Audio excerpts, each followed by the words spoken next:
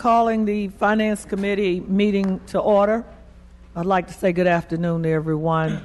Council member and Chair Robert Clark is probably running a little late, probably got caught up in I 40 traffic or something. But we'll go ahead and continue uh, to have the meeting, and when he comes in, we'll, we'll let him take over.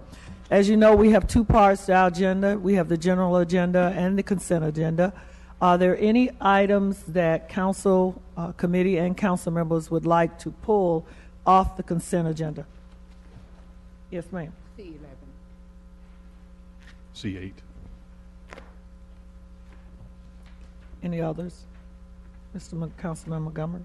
If there are none, I make a motion for the approval of the balance. Second. It has been moved and properly second to accept the balance of the consent agenda. Uh, City Secretary, please read the first item. Item C8, resolution directing staff to accept proposal Point of order. sale Point of of order. We Lux didn't, Trolley. we didn't vote. I'm sorry, I called for it. Cause he- he- He distracted me. Yeah. I apologize. We need- I will tell y'all how fast I drove getting here, but there's some policemen in the room. I won't. We're voting on the consent, the balance of the consent agenda. What did we pull? We pulled C8, C11, and that was it. C8 and Yeah. Do 11. you have any? I had one yet, but I think you've got it. Hang on just a minute.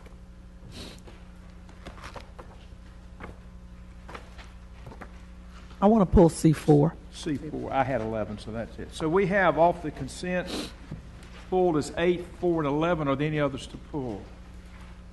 If not, do we have a motion to approve the balance? We already had the motion. I already have the a motion second. All in favor, say aye. Aye. Opposed likewise. We'll start at the first number and work our way through. We'll start with C4, please. Item C4, resolution to renew an agreement with Arista Information Systems Incorporated for outsourcing utility bill printing and mailing. Ms. Saunders, I see you standing there. Do you want to give a? Just one question. that's all. or, or Ms. Adams has a question. I have a question, ask. Ms. Saunders, and that's all. Um, I know we've batted this one around a couple of times, and I appreciate the matrix that you gave us with the diversity of SCDC. Uh, but I wa- I guess my question is, this metrics, is this for their national? It is for the Okay. national company. What about, if they're printing, they- are they printing here in Winston? Are printing here locally in the Winston office. I would like to know the diversity numbers, Okay, we have those two. okay, for their uh, location here in Winston. Do you want the, I've got those now if you want. Yeah, go Yes, ahead. please. Okay, it's um, 27% minority, 72% Caucasian. And do you know the makeup of the uh, minority, like you have it, bro- like it's broken down here? African Americans, Asian, Latino?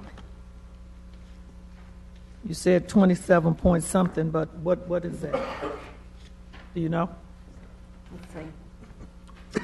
Okay, there are um, three African American, six, no, three African American, 13 white, two Hispanic, for a total of 18. 18 employees, okay. Thank you. Mhm, You're welcome. Okay. Chair, Yes, ma'am, Ms. Burke. Every time we give those percentages, I like to ask, how much percentages of, do we have, and I'm asking again, of actually blacks who live in the city of Winston-Salem? Hispanics, Asians live in Winston-Salem, and then how many white folks live in Winston-Salem? And I must say this, Mr. City Manager, I continue to say, even though we look at what the state and the national say we can do. It is, for me, it should be your charge, your staff, to tell them to be most sensitive about what we do. Sometimes don't just look at what it says national that we're supposed to do. Uh, these taxpayers expect more. We have a lot of unemployment, and we need to do everything we possibly can to make sure that looks different. Okay. Uh, Mr. Montgomery had a comment. Yes, I, I think I may have been one of the culprits at the last committee meeting in, in questioning on this one. And I see in that it, it went back and there was additional conversation had with the company. There was a reduction in, in the quoted price on this. Um, and I know that was a part of the conversation, but I also asked in reference to within departments, um, the opportunity for us to look at when we're doing certain printing opportunities, the opportunity for us to see what can be done via mailings in that process. And what was what was that in terms of what came back in reference to that? Manager? We, we took a look at the, the city line, which we publish in the water bill, and uh, I've talked to, talked to Mr. McNeil, and we have about a three-month uh, lead time on that because the water bills go out over a two-month period. But what we're going to do is work with uh, departments, council members on community meetings and make sure we, for meetings we know about three months ahead of time, we'll put a calendar in this, in the, in the city line. Right, and then there was also the fact that if you were to target areas, that became ex- it, that increased. Much more expensive if you pulled out and targeted one, one area. Right. I just wanted that because it was a question that was brought up and wanted to make sure that that answer was put out for the public. Okay, Mr. Yes, a few weeks ago, we had the MWB people down on Vine Street, over 200 and some minority business. And this was a cross-section diversity of men, women, ethnic groups. And I would like to know how many, not today, but how many people are we actually able to make sure with their efforts that we're going to try to get them with some jobs connected with the city? Okay. And I'd like to have that at least, uh, it, it shouldn't take a month, but I'd like to have it. Just kind of, uh, be nice to have a summary of the event, Yes, just yes, kind of everything for everybody. thank you. Okay, do I have a motion to move this to full committee? Move for approval. Second. All in favor, say aye. Aye. Opposed likewise. That passes. We'll now go to C8. Item C8, resolution directing staff to accept proposals for the sale of two bus trolleys. Who requested this? Mr. MacIntosh, would you like a presentation, or do you just have a question? Uh, I just have a question. Um, This was, uh, um, this is coming up because of really the success of the historic trolley tour that occurred this past May during Historic Preservation Month. There was a, quite a bit of, uh, there was a great response to, to the efforts there. My question is, how do, we- how are we marketing these? Are we just going to put an ad in the, in the back of the journal and hope somebody steps up, or are we actually going to? Mr. Turner? Mr. Chairman, members of the committee, we work with the city's marketing and communications division as well as uh, our real estate division to put this information out there. We don't have a specific plan already developed, but we'll work with those two entities to develop a plan. I know there are other cities that, that do these quite successfully in their private enterprise operations, so I would hope that we would reach out to, say, the operators down in Savannah and some of the other cities that I've seen these done at, and uh, see if they'd open up a branch operation. I know there are a couple of local folks that have expressed interest in it, and, and hopefully that's the way it goes, but I would like to see us, see us get as broad a reach as possible. Be happy to. Thank you. Okay, Ms. Adams? Yes, um, I noticed when I read this, they were saying that we paid $269,000 each for these trolleys. Mr. Turner, do you have an idea of, what- and I read through it about the 5,000 minimum of the bids. Do you have an idea how much money we're talking about these trolleys going for? Because, you know, I too would like to see some enterprising uh, person or organization do something with them, but I also want to make sure that, you know, uh, those that may have an idea, but maybe they don't have this kind of money, but they know that they have an opportunity as well to be able to purchase one or both. Considering the age, council member, these would be in the five to $10,000 range we would estimate. Oh, so I could buy. it. Okay, thank you. They're 14 and 15 years old. I'm doing the math right. That's correct. Yeah. And, and just a note on that, our, our portion of what we paid was around twenty-six nine, so Yeah. we, locally. And I've checked on eBay, and that, that, that number's about right. Yeah, I would say we're towards the end of the useful life on these. Yeah. Either way. You need. Correct. Okay, do we have a motion to approve this? Do Move for approval. we have a second? Second. We have a motion, a second. All in favor, say aye. Aye. Opposed likewise. That is passed. We will now go to C11, please. If you read that. Item C11, ordinance amending Chapter 14 of the City Code relating to cemetery. Ben, I, Oh, excuse me. I was going to say, I had some questions. This is, who's going, Ben, oh, I'm sorry, I didn't see you there. Can you just give us a two-minute summary, and then we'll see what questions there may be? Yes, sir. Good afternoon, Chairman Clark, members of the City Council, and Mayor Joines. Uh, Staff undertook a review of the, of all the uh, city code related to our cemeteries. We have two cemeteries, New Evergreen Cemetery and Woodland Cemetery. Uh, Two of the major provisions that we're recommending today would be changing the buyback provision uh, in the, in the code, uh, whereas before, the city would buy back a sellable um, lot or site at the price that the owner paid for it. We're now proposing to change that to where the city would buy it back at the current uh, fee for a plot, which right now for an adult plot would be $770. The reason for that is we're, we're running out of spaces in a particular new evergreen, uh, single uh, site graves, and also some multi, some, some family plots. And so we're wanting to create an incentive for folks to, uh, to perhaps sell back some spaces that they may not uh, intend to ever use. Uh, They would have to be sellable for us to really buy them back, but, uh, but that is one policy we're looking at. The second policy is to, uh, to provide an installment payment plan for burial fees, for opening and closing of graves. Right now, we do have an, an installment payment plan for the purchase of a grave site, but we do not have a uh, installment payment plan, what we call a pre-need burial. And what is the charge on that? For an adult, it would be $660. Six sixty, okay. Okay, that's for the opening and closing. Okay, question, Ms. Burke, I saw you had your hand up. Yes, the mayor and I have been opening and closing and helping to bury people. You may not know it in this city. He and I partner to pay the bill. It's sad that people have lived in Winston, work hard, and have insurances, and yet and still, with the price to bury someone, it is too much. They don't have that opening and closing fee. So I think this is a good point. I appreciate uh, Mr. Rowe taking the seriousness of this uh, in order to help families get beyond where they are at a point when they're so frustrated and upset. So this Okay. is a good way, and I want Mr. Rowe to repeat it again. If someone passes today and a family calls the cemetery, a funeral home, what will take place with the opening and closing if they have not already paid for it? Well, they, they would have to pay both the purchase of the site and the purchase of the opening and closing prior to receiving service. Uh, This installment plan would be for what we call pre-need. So uh, it does not provide an at-need payment plan so that if, so that whereas we would uh, provide the burial services and then the family could subsequently pay for the burial fees. Where That, that option is not spelled out in this particular uh, policy recommendation. It is simply to provide a payment option for them to pay their fees in full prior to uh, burial. burial. Someone who could start paying out, hopefully would have a lot of it, if not all of it, paid by the time they need it. Yes, sir. Okay. Yes. and, Yeah, go ahead, Ms. Burke, you Master, still have the floor.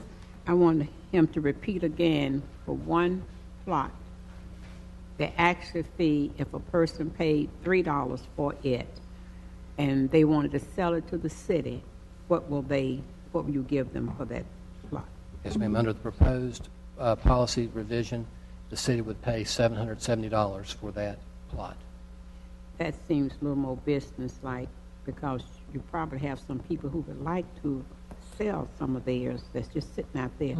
Have we had a chance to sort of have some communication to see people with plots out there, who's still living, and Well, our, our, our thought was that, that if the city council approved these changes to the ordinance, then that we would make sure that it is communicated to, uh, to folks who own plots out there that, that this buyback provision change has been approved and to see if there might be interest.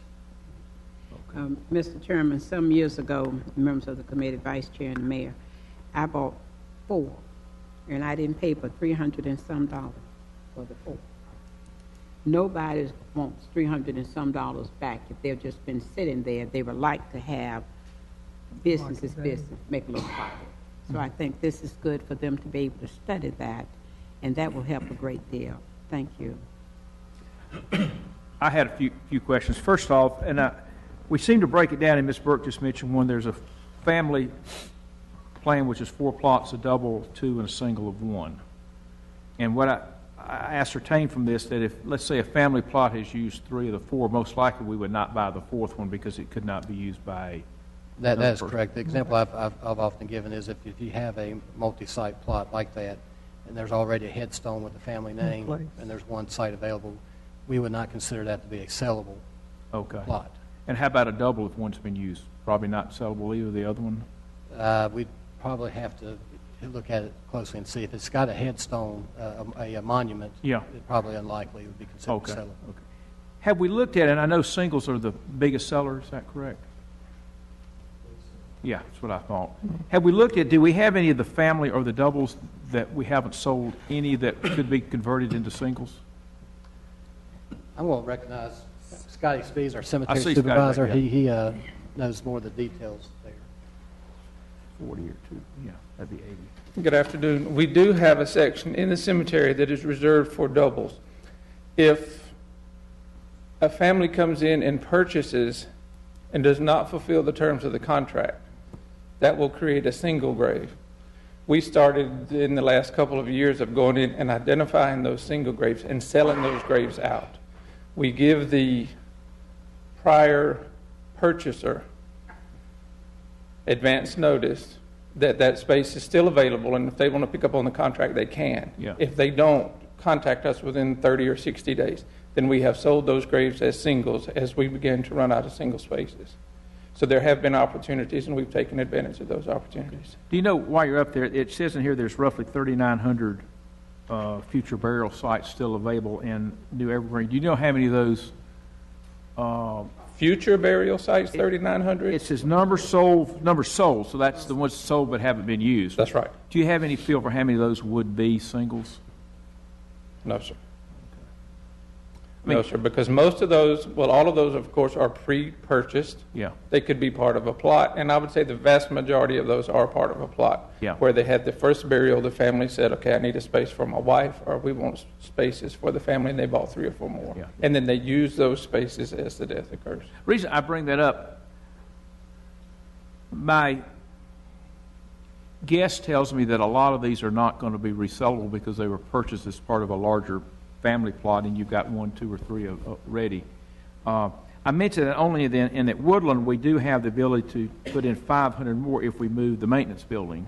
Yes, sir, and the maintenance building is getting updated starting tomorrow with a new roof, new painting, and new windows. Well, my, my question is, should we not be making plans to move the maintenance building? Because I just don't think you go get many buybacks unless these are singles, and I'm hearing most of them aren't.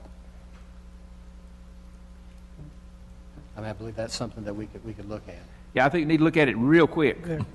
Uh, But, I mean, again, I, I just don't see there's a big rush. And- And I happen to have a friend who has a, a grave here that will be used one day, but she's not ready to use it yet. But it was purchased for that purpose, and a lot of these were, and I, I just don't see this as generating a lot, a lot of new inventory. So I think we do need to take a look at, at the maintenance building and making uh, accommodations to, to put it elsewhere so those are available. Because there is a need, as Ms. Burke says, there is a need out there for this service, and I think we need to have as many sites available as long as we can.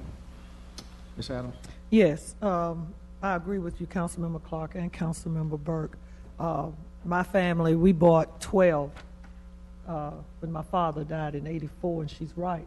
I think they were only $100 then, and uh, we are using a lot of ours, unfortunately. But I think these family plots, as we've said, historically were purchased by a lot of families uh, that wanted their loved ones near them. And I think what has happened over time, families move away, children move away. And when the plots were purchased, the parents bought them with the intent of, like how our culture is, that my children will be buried near my mom, my dad, and that sort of thing. And I think that's what happens. And I think when we do contact some of these people who have not used their, their uh, grave sites, you're going to find that a lot of them are probably elsewhere in other cities and that sort of thing. So to Councilmember Clark and Ms. Burke, I think we need to go ahead and contact these people right away because you might even find, as you said, when you do contact them, you don't get an answer. They may be deceased now. And there are times when families don't even know that there are still four plots left in the family at Evergreen Cemetery. So I think it would behoove us to go ahead and move on this one, as, as they said, uh, expeditiously. Also, at Woodland, I do agree, we need to hold up on that maintenance building. We might need, we're gonna need to move that somewhere else because that space needs to be utilized for uh, possible uh, plots as well. Councilmember Adams, if, if I can just point out one thing to you, when we buy the property back, we would be buying the property back from the original purchaser. So if the original purchaser is deceased, then it would be up to the heirs or the beneficiaries of that person to sell that property privately. We would not buy back from the heirs. We would only buy back from the original purchaser or the estate of the purchaser. So if the estate has already been closed out, there's no one else that we could personally buy back from. They could sell it on the open market themselves, but we would not buy it back from a grandchild or a niece or a nephew. But how, like you said, though, in the communication process, how would you find them? That's what I'm That's, saying. that's that- going to be an issue for us, but, you know, we'll make an attempt. Yeah, Well, M- Mr. Rowe and city manager, we need to come up with a plan quickly because as I was saying, you're going to find that, as he was saying, they're deceased, their children moved away, they're not coming back here, and if, and I know from heir property, it's out there, but sometimes the heirs, we don't deal with it readily. We just let it sit there until maybe somebody contacts us and say, you either owe more taxes or this land is getting ready to be purchased or something. So I think we need to go ahead and make the effort to get in touch with the, these families and just like we do with, what is it when you die, probate? We need to do something of that nature too in the paper, just one article, let people know, as you said, because uh, we just can't sit on them forever if nobody's, they belong to people. But we need to go ahead and do what we need to do to try to, to, to secure them. That's what I'm saying. I saying. think the point made here, and I know we have our attorney here, you cannot buy property except from the owner. You got to get clear title. Right. Correct. And I will tell you, my mother's family, she still has plots at the St. Bonaventure Cemetery in Savannah that mm-hmm. goes back two, three hundred years, and who knows who owns them now, but Right. they're empty.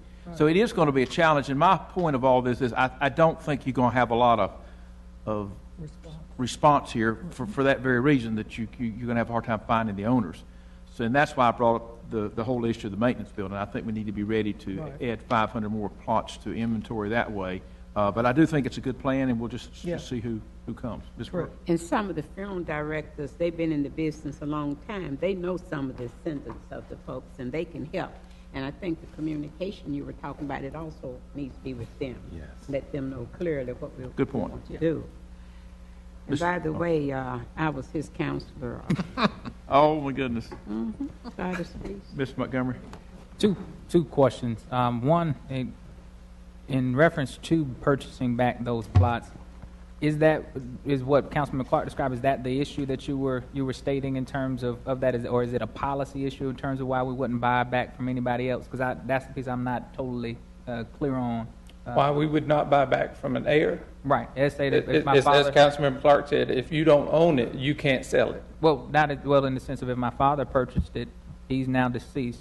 Yes. And it is now mine in the sense of how, well, how does that work then? We would need to do a track and find out how it became yours. Did it become yours by the will? If there was no will, did it still belong to the father? Who does it go to? Um, and then we would make a payment to the estate of your father. And if your father's estate had already gone through probate and closed out, the check wouldn't clear because there is no estate. Let me Right, ask and the, so, well, excuse me, I was going to get the attorney to comment. on Yeah, this.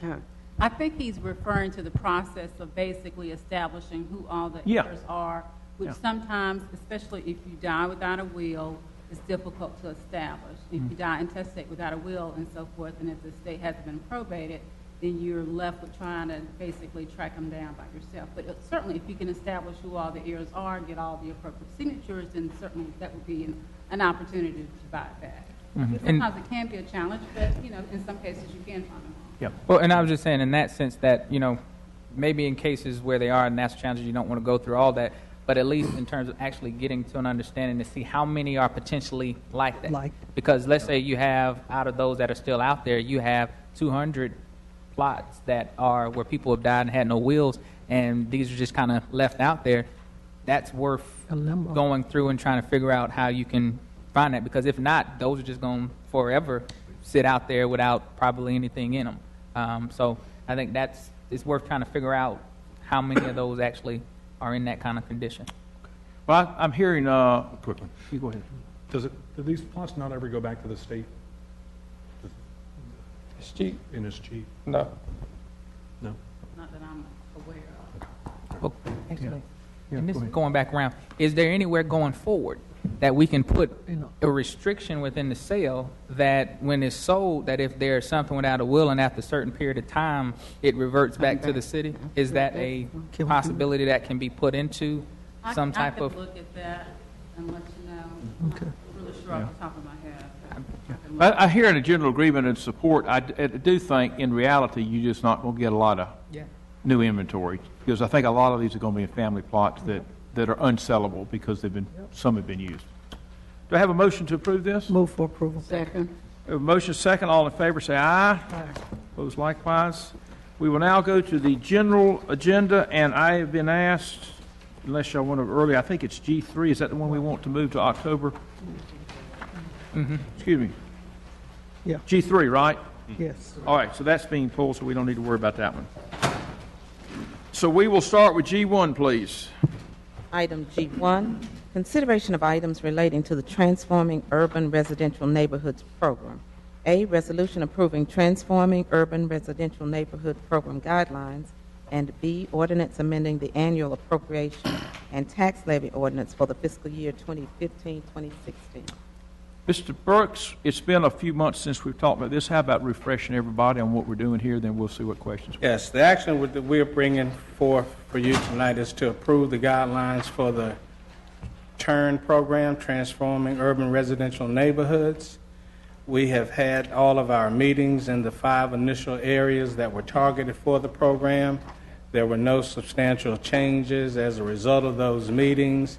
As a matter of fact, the programs and the guidelines were accepted very favorably in the neighborhoods where they were presented. Uh, So we provided, and there were some questions when we first presented the draft guidelines to you. We followed that up with a memo uh, addressing those questions. So I hope that uh, they were satisfied. We haven't gotten any feedback from any of you from that. So we move forward and have solidified the final draft, and we're ready for you guys to approve it. If you would like a brief overview of the highlights of it, Sharon Johnson, who is the program administrator, is here, and she can give you a very brief. I would like a brief, if you don't mind, Sharon, if you don't mind.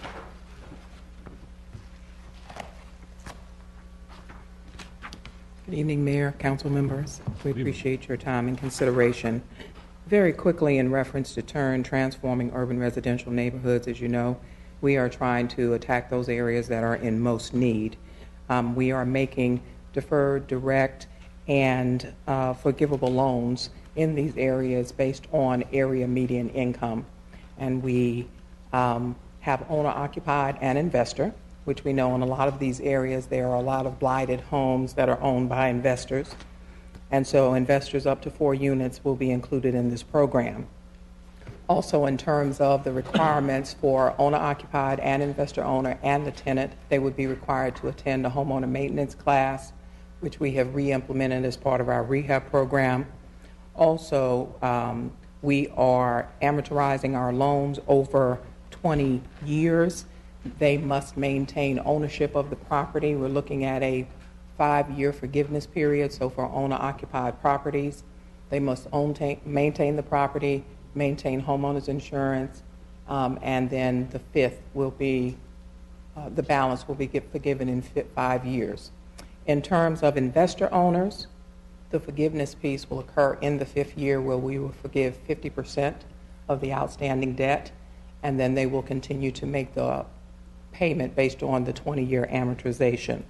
Also, we have a sliding scale as far as interest rates, 0 to 4%, with 4% being the maximum um, for owner-occupied based on their AMI. The lower AMIs, of course, get the lower interest rates. And then, of course, for investor owner, the maximum rate would be 4%, just straight 4%. And that is based on if they are, uh, the city is providing at least 50% of the funds. Also, any properties built 19 prior to 1978 will be tested for lead as we do with all of our other programs because we know that lead is very detrimental to children. And for the investor owner properties, they are going to be required to rent to low to moderate people um, during that five year period and not increase the rents over 3% during that period. Our program maximum per unit is $45,000, um, and they will be eligible for other pots of money that they may qualify. For example, if we have lead grant funds that are available and they meet those qualifications, we will be looking at using as many pots as possible to make sure that we can rehab these units as many as, many as possible and to make the turn money, um, which is bond funding, go as far as in which it could go. Um, one great thing that we are looking forward to is we have CNAs, which are coordinating neighborhood agencies, and there have been one or several designated in each of the five areas. We will be working with them in our scheduling training now. They will be on the ground, the grassroots um, participation, where we they will assist us in marketing the program. So, of course, the city will do what we do best in terms of TV 13, door and hangers, and we are created marketing kits but we will be looking for those coordinating neighborhood agencies which are on the city's approved roster to help us roll out and implement um, this program.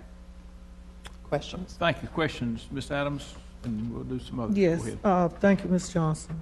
Um, First of all, who are the CNAs? I mean, what organizations are they? You said you had, what, five? Of the five areas? Yes, ma'am. For example, in the Northeast Ward, it is Liberty East Redevelopment and also the Gilma Barnier Neighborhood Association. In the North Ward, it is the Boston Thurmond Neighborhood Association and also the Cherry Hill Community Club. In the East Ward, it is, it is the Dreamland Neighborhood Association. For the Southeast Ward, it is SG Atkins CDC. And in the South Ward, it is Washington, Washington Park Neighborhood Association and also West Salem Neighborhood Association. Okay, one more question. Go ahead. Uh, In, on page 12, um, under the investors, owners, section B of loan terms, it's number three, but it's section B, investor owners, and um, subset, or sub number five, where it says the property owner and the tenant must attend the homeowner maintenance uh, no later than 90 days. Yes. But what happens if the tenant moves? You know, I'm, I'm, I look through it looking for the situation, whereas I may be there when my owner, the owner, gets approved, and we're supposed to go to class, but the person that was there, there's no one there now. What happens in that type of situation? We would still hold the owner responsible for attending the class. As you said, we cannot control when a tenant moves out. However, when the new tenant moves in, as part of the program documents, they must submit their income documents so that we can assure that they meet the 80% or below uh, area median income for low to moderate, and then that new tenant would be required to attend the homeowner maintenance class. Thank you. Thank you. Mr. Montgomery? I have a couple questions. Um, starting off on the construction side of things, what what is what will be the standard on actually the the work that's going to be done? How will that be followed through on? Let's say they this is approved for this amount of money for this work to be done. Who's following up on work in terms of the contracts and those that are going out? How is that being followed up? Are we engaged in that process? Yes, sir. We are fully engaged in that process, just as we are in all of our other um, housing programs. We will have construction advisors that will go out and inspect the properties and complete a scope of work. We also provide uh, a list of approved contractors, and we facilitate the process for that work to be bidded out to those pro, uh, to those contractors. So we make sure we follow the city's policies on procurement and bidding and things of that nature as well. So who will make the decision on the contractor for the work, the homeowner or the city?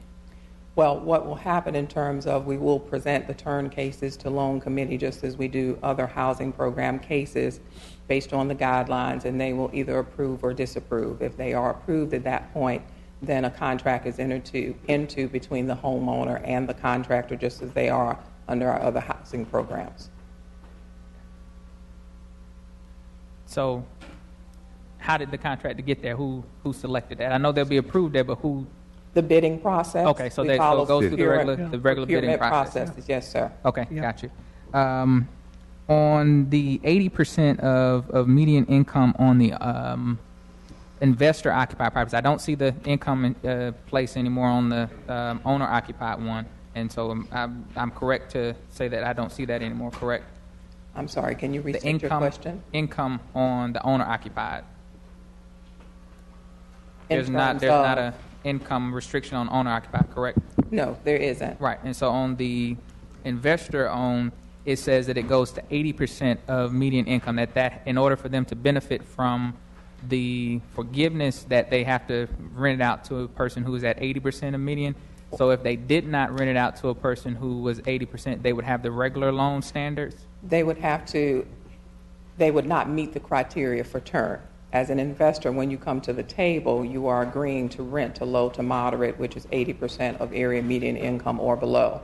Okay. If they entered into the contract and had a person that was 80% or below, Well, I, I got that. Well, Okay. that, that challenges what I, I, I think I've kind of been talking about in the sense of, of, of the making sure that uh, in the neighborhoods is presented opportunity for individuals to have access. If there's somebody, if I want to live in a neighborhood, um, and as we see now, many of those properties are owner occupied. I mean, excuse me, investor occupied, investor owner properties.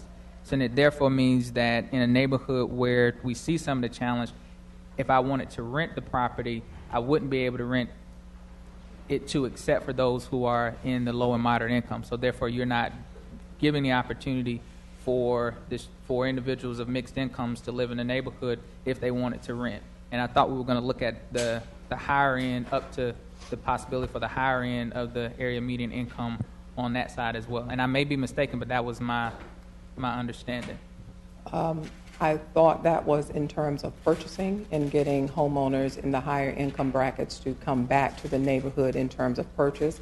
But we can certainly, certainly take back in terms of increasing the AMI on rental. That was not my understanding.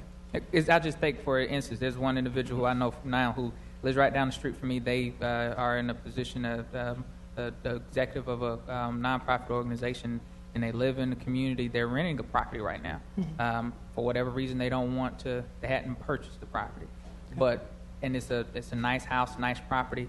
But for that person, if they were in uh, a, uh turn neighborhood, they wouldn't be able to rent if it was an owner occupied, excuse me, an investor occupied property that had investment done. So for that person who's contributing to the neighborhood, likes the neighborhood, but just for whatever reason they're not wanting to buy at that time, or maybe they decided to rent and they liked so much they approached the owner to purchase the property, but they wouldn't have had that opportunity to do so if because of the 80% median. Well, we certainly can take that and uh, represent that back to you in terms of having that scale where we take out the restriction of the low to moderate as well. So Well, I, it may be the need for the scale, but I'm saying how do we go to the higher to the to the higher end of that scale? And that's something I'm if the committee is willing to look at, I'm willing to to see it um, increase uh, from where it is now. Ms. Burke, did you have a question? No, I was going to say, Go ahead. I'm following up, they should let them look at it before we make a final decision, so we can actually see what you're talking about with that scale. Okay. Ms. MacIntosh, you have a comment, question? How many, if if the program works like we all hope it does, how many dwellings do you think will we're come into the program? anticipating in the areas where $800,000 has been allocated, anywhere between 17, 17 and 30 houses. So when we presented the information initially, we talked about a scale of uh, average rehab of 25,000 up to the program max of 45. So looking at 25,000 versus 45, 17 to 30 properties in those areas. Total or per? Per area. Per area, So, per area. so in total, we're looking at how many dwellings? Uh, Got 160. 160, yeah. 160 is 25 a house. 120 if we look at the four areas, if it was the max. All right, so- Uh, In, in those areas, 120, and then, of course, the south area has a slightly less allocation. Uh, My question goes to, s- to staffing levels. And are these houses going to be inspected every year to make sure that they're up to code, or is it just at the five-year level? Do we have enough bodies to go, go to these houses and make um, good decisions on whether they're being uh, faithful to the, to the program? And it seems like that's a fairly labor-intensive operation. Well, in terms of, we do have a provision within our current rehab program where we can set them up for reinspection every year, and they would be put in the code enforcement system. So from the time that the loans are closed, we can put in the code enforcement system to reissue uh, a reinspection request.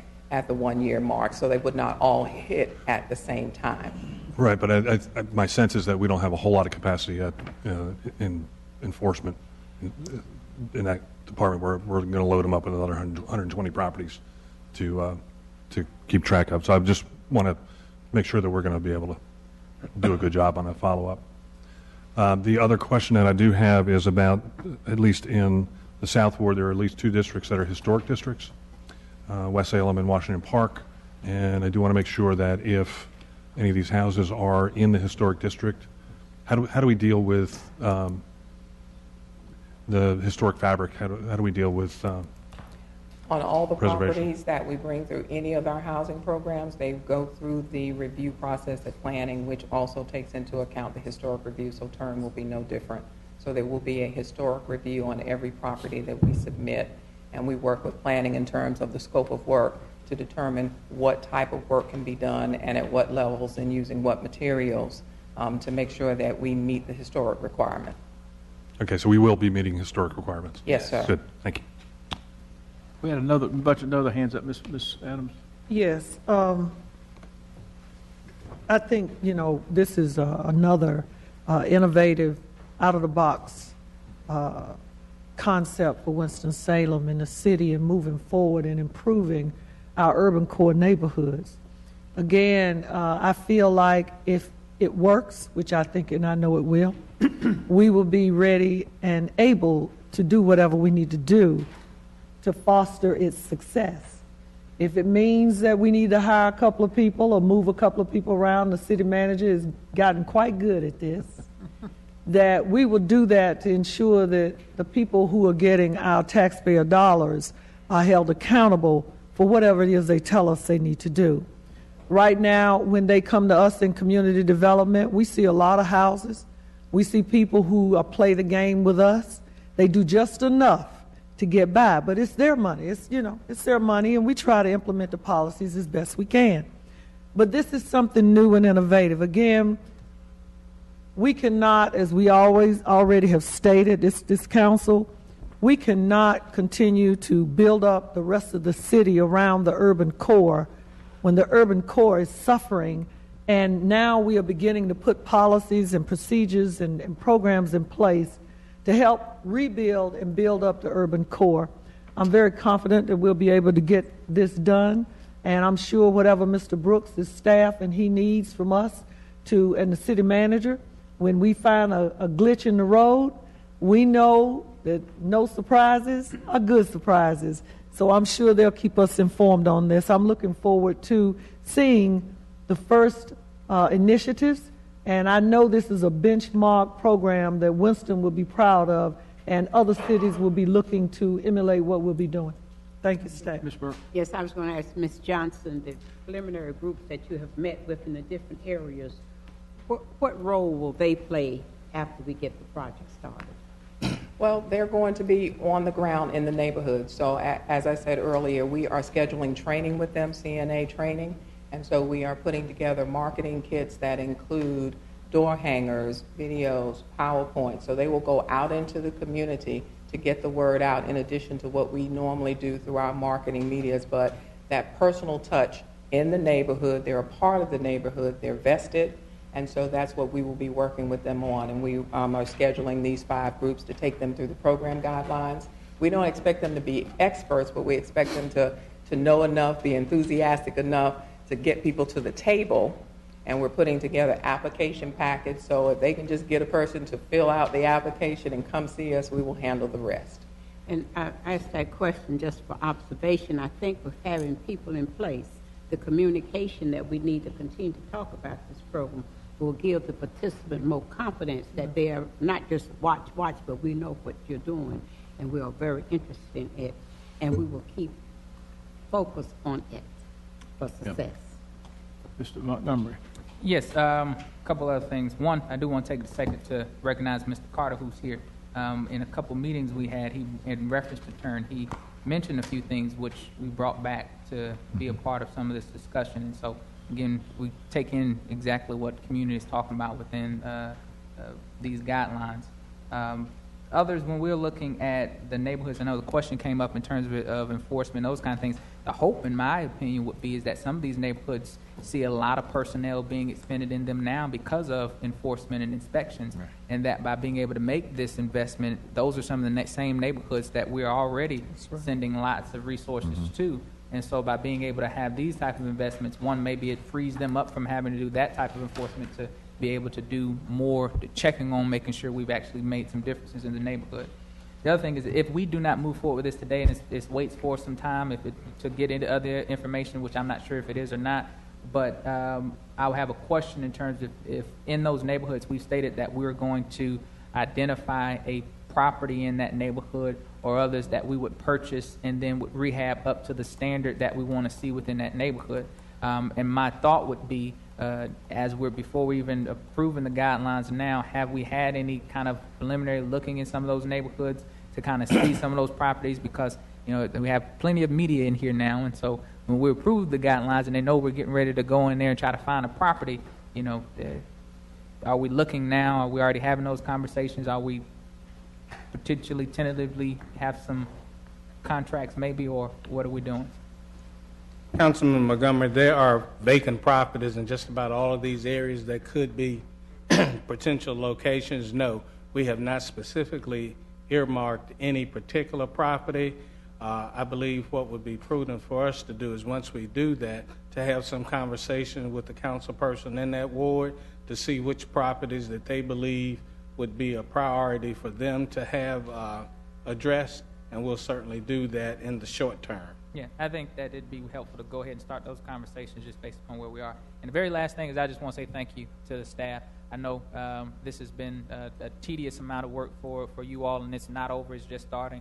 Um, I just want to say thank you for the hard work that you all continue to put into this process and, and what you're doing. I recall maybe at least four years ago when uh, council, not council member, but uh, city manager, uh, Mr. Brooks and others, were out walking in some neighborhoods and, and, and really having a conversation about how can we do more to make investments in, in our communities and have concentrated impacts in those neighborhoods. And then to get to this place now, I think again to staff, we thank you for, for that hard work. Ms. Burke? I'm glad that you would say thank you to the staff. In fact, I told the city manager uh, about three, four weeks ago that uh, Ms. Johnson, in meetings I've been in and places she's been, she does a thorough job with her presentations. Mr. Chairman, just very quickly, uh, picking up on Councilmember Montgomery's comments, this is a, a great program. It's going to fit in with a lot of efforts that will dovetail that we're doing throughout the city, our poverty reduction efforts and others. And I just want to, I guess we should thank the voters for approving the, the bonds uh, last year overwhelmingly uh, to give us the resources to be able to carry out this. I think this will show the voters, uh, uh, I think what you're getting at, let's, let's hit the ground running and show the voters that this was really something that was needed. Mr. Besse, go right ahead. Uh, Thank you. I, I had a couple of questions that um, I can't get out of reading the guidelines regarding income eligibility uh, determination. Um, Is this a, a one-time front-end determination you know, without an annual review? It would only be annual for those properties that are being rented. So you would go in annually and have to redetermine the income eligibility of the, of the tenants? Yes, sir. Um, We have a special form that we would send out yearly, a very simple one-page form where they basically recertify, is it the same person in the property or if the person has moved? Very simple one-pager. All right, so if, if it's the same tenant, then they don't have to reestablish el- eligibility? Well, they still have to submit the form. Every year, we would send out the form so that they, we would know um, that they are renting to an eligible tenant. Yes, and, and my my inquiry is, clearly, if they have lost the original tenant um, and have brought in a new tenant, I think it's appropriate for us to determine whether the new tenant is income eligible. My question is whether we want to require um, the same tenant to demonstrate that they have stayed below the income level uh, that you know, made them initially eligible. Yeah, I I can think of policy arguments pro and con. My personal inclination is that the downside of, you know, discouraging somebody who is, uh, you know, in a training program or, you know, has been. uh, Got a promotion at work or whatever, makes more whatever, money. That, that you don't want to do it. We don't want to do it. No, that's something we wouldn't want to do, and quite frankly, I think, speaking, addressing the issue that Councilmember Montgomery just spoke of, it would address that, that very issue. So if you have a tenant whose income is increasing, I see that as a good thing for the neighborhood, so we can make an adjustment for that. And, and the intention now is that for an owner-occupied property, you know, once they get the loan, we don't require them to reestablish their income level on a subsequent annual basis. That is correct. All right, the other, um, you know, inquiry, uh, in calculating that initial income, I see the way that it's, it's written is you're talking about, uh, income anticipated to be received during the coming twelve-month period. So you're not talking about establishing what their income has been during the most recent year or years. Well, Am I when we, when we look in terms of, say, for instance, they were getting Social Security, because if you're working a regular job, we would use your pay stubs, we would use a previous year's tax return to substantiate any kind of fluctuations. But something like alimony or child support or things of that nature or Social Security, you know, is it going to be consistent? Is it disability? Um, would we get a statement that says it's going to end at a certain period of time? So those would be the things when we look at that particular clause. So the eligibility technically is anticipated coming income, but you're going to establish that based on records that they have available, such as pay stubs or a tax return, about what they have had in Yes. recent year. Do you, Correct. do you say the, the most recent previous year, or do you say average the, the past three years, or what? do you- How do you do that on the ground? In terms of owner occupied, we take current pay stubs, so the most recent four pay stubs, and then previous year's tax returns, because what it's going to tell us is, was the income consistent? For owner, I mean, for investor owner, we ask for three years' tax returns, and we would look at the average.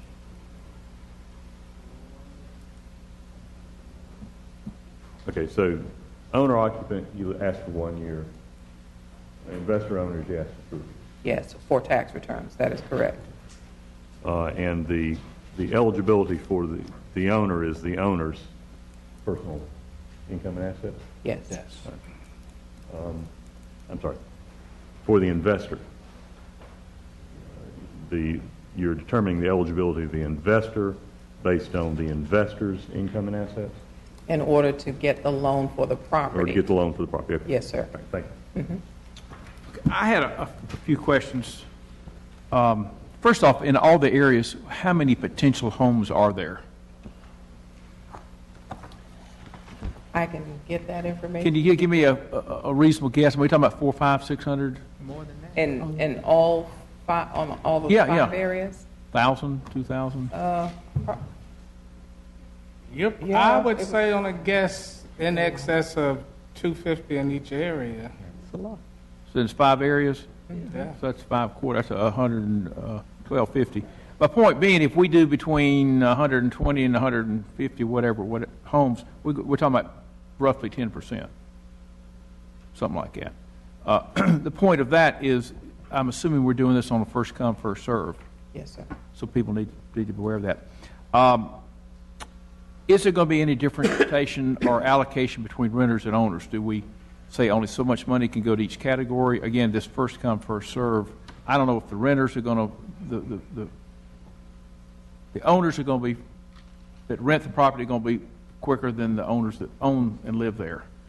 At this time, we had not put any restrictions Okay. on owner occupied versus investor owner. Certainly, if you'd like that, we can. How about neighborhoods? Are you saying we only go to so many per neighborhood? I mean, if one neighborhood gets going quicker than another, then we end up doing a lot in one neighborhood, not much in another? What you all had asked us to do, um, starting in the ninth to 10th month, Yeah. we would be submitting quarterly reports to you to be able to show you which neighborhoods were spending their money. Okay. And somewhere by that 12th month, you all would make a determination in terms of whether funds would be reallocated. Okay, gotcha. So we're prepared to have tracking spreadsheets for you. Okay. Uh, Next question, the organizations that are assisting you, I know they're being compensated for their efforts. Is that compensation before, during, after? I want to be sure that we compensate them for work done, not expectations. The compensation for the CNAs, for every 10 applications they bring to the table, they would receive $450. For every approved application thereafter, they would receive up to 2% of whatever the loan amount was. So for example, if the program max is 45, they have the ability to get $900. And we're looking at tracking that quarterly as well, and they have to have the appropriate documents submitted to be set up as a vendor in order to receive payments from the city. And then we have certain restrictions on what those funds can be used for. They must be put back into the community in which they are representing. So they cannot be used for salaries or Okay. for any of the expenses of running the organization. All right. Next question, I may have misunderstood what Mr. Montgomery said, but it, it seemed to imply that the city was going to buy properties and fix them up. That is not the case, is it? There is a provision to, to purchase a house in the area, in the, in any of the areas, and use as a demonstration house of what could be done on a rehab that would be of a much higher scale than we have typically done in order to use as a model for other folks who may be interested in moving into the neighborhood. Uh, we do anticipate using some of these funds, but we currently have, and I want to just remind you that in all of these areas, we still will be operating our community development block grant programs and marketing those programs and using a combination of programs wherever possible to achieve that. Okay, so that would just be one per neighborhood? Yes, And then we now. would sell them at some point once we're finished? Correct. the program. Okay. And last one, and this has been alluded to, I do see a lot of, of man, manning needs on our part, and I just want to be sure that we are properly manned, because it's been mentioned, some of these folks we're going to inspect every year, there's going to be lots of applications coming in, this, that, and the other. So, uh, please keep the city manager posted if you think you need additional resources, and I'll leave that up between you two. Thank you. Okay, any other questions, comments for this? Uh, do I hear a motion? Move for approval. Second. We have a motion second. Mr. Montgomery has another With question. what, uh, with the um, understanding that there is an, an adjustment um, on area median income for owner occupied. Right. I mean, not owner occupied, For yeah. rental. Rental. Yeah, for rental, Okay. right. That we will come back with some recommendations there. Because, I will say, I, I am somewhat torn there. I don't think the purpose of this is to build nice houses for rich people and give them a free loan. Uh, but I also understand that if someone does it and suddenly they, life gets good and they get a promotion or a raise at work and suddenly they got to move out, I don't think that's it either. But, but, uh, I will be curious to see what you come back with. Well, one, if this moves forward without that provision, I won't be supporting it. Um, Secondly, if we look at the, uh, the- what we got in the packet with area median incomes listed there, a person making thirty thousand dollars wouldn't consider themselves to be rich. And that is, if I'm not mistaken, at eighty percent now for one person, I think that was listed at, uh, as, as the income. Is that right? Thirty-one thousand. Thirty-one, four fifty. Yeah. And so I think this isn't, those are not, those are not rich people. So, um, I, so, Well, do we want to hold it in committee until we get that resolved, or we want to move this forward with the, un- with, with the understanding that that will be discussed at the full council? Yeah, I wish we could just move. Let's move it forward. I would like to move it forward and personally, and then we'll deal with that. And at the regular council meeting, you'll make a presentation on that, and if someone wants to make a motion to incorporate those changes into this, they certainly can. Okay. Mr. Besse? Uh, Well, I I was going to ask, so the, then, it'll go forward to the council as written. As written, but that's what the there'll be motion two- is. Two changes prepared for council consideration, full council consideration. One that would adjust the, uh, the rental uh, eligibility to, well, no, the- the owner occupied eligibility to eighty percent, yes? Rental. Yes. No, It would be rental to increase it so that it goes past 80%. correct. So that investor owners are able to rent to tenants above Above eighty 80%. percent. Above it, Yes, sir. to what, what level? That's what they're going to work on. Oh, okay. Um, and the, the other, the one that I had asked about, uh, the, One time. the, for the, for rental properties, you would check for Eligibility. a tenant the first time, as long as it's the same tenant, you're not gonna check on an annual. Yes. They're going to look at that too, that's correct. Okay, thank you. But those are not in the motion. The motion is as written, but we understand that they're going to have some more information if people want to make, and Mr. Mayor will be running the meeting, not me, but if he wants to accept the motion, substitute or whatever, or an addition, then he'll do that. In, in that information, uh, which I won't support this, but in that information that's brought forward, I would ask that you bring the number of uh, owner-occupied houses as to the number of um, investor-occupied houses in those communities, because what you're going to see is that the number of owner-occupied num- numbers are dramatically less than the investor-occupied. And so if you put that standard on this, you have subsequently stated what the income levels in that neighborhood are going to have to be. So Okay, we have a motion as presented with the understanding staff is going to come back with some additional comments. All in favor say aye. Aye. Opposed? No. Abstaining? We have three in favor, none opposed, I mean, one opposed and none abstaining. Okay, we will now go to G2. Item G2, resolution authorizing the city to participate in the Brookstown Phase 2 development pursuant to North Carolina General Statute 168-158-3. Mr. Paige, I know we were briefed on this several months ago. Would you re-brief us? I will. Good afternoon, Chairman Clark, members of the Finance Committee. Um, As you stated, back in May, we actually made a presentation on this item, and back in May, you directed staff to start conversations with the developer, Brand, out of Atlanta, and Brand's actually here today. Brand Morgan is here today to talk about this project. Um, But let me first sort of introduce you to the project and where we are. Since our conversations back in May of this year, Lisa Saunders and I, CFO, have been meeting since um, probably the third or fourth week of May on a somewhat regular basis with the developers to discuss the concept of bringing a project to you that, in essence, did what we had talked about five or six years ago that is, present a proposal that would pay for itself. Back in 2009, I believe we looked at a concept of buying up to a thousand parking spaces, but the understanding was that anything that we did to support the project had to support itself as part of the project. So we've been talking with them for about three months on how we make this work. So we have a concept that we're ready to present to you today that, in essence, pays for itself through self-financing. Over two years, Brand would invest approximately $53 million to construct what would be Phase 2A of his project. Phase 1 is the stuff that's already out there today, the Links Apartments, the baseball stadium Phase 1. So Phase 2 is what we're talking about now, and that specifically Phase 2A is the development of approximately 250 multifamily units and approximately 50,000 square feet of retail space that would also include a grocery store as part of that retail space. Based on the current projections of the uh, revenues of of $53 million project, it's about $6 million will be generated by the project, or roughly um, $300,000 per year over 20 years, are sort of the projections we've used. And the reason that we use 20 years, I'll explain further in a minute, is that's sort of how we looked at the financing of this deal. The area that we're actually talking about is uh, depicted here in the conceptual that sort of is that area bordered by Peters Creek Parkway, Broad Street, First Street, and, P- and Business 40. That's sort of the boundary. So it's the center field of the baseball stadium. If you're at the baseball stadium looking at how that center field be that area that you'd be looking at out there.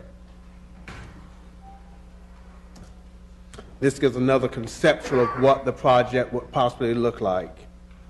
Keep in mind that the developers are still working with their final renderings and final numbers, so the actual numbers may change, maybe 260 units instead of 250 units, but, the, but maybe um, 60,000 square feet instead of 50,000 square feet as they go forward with the development, but this is sort of the concept.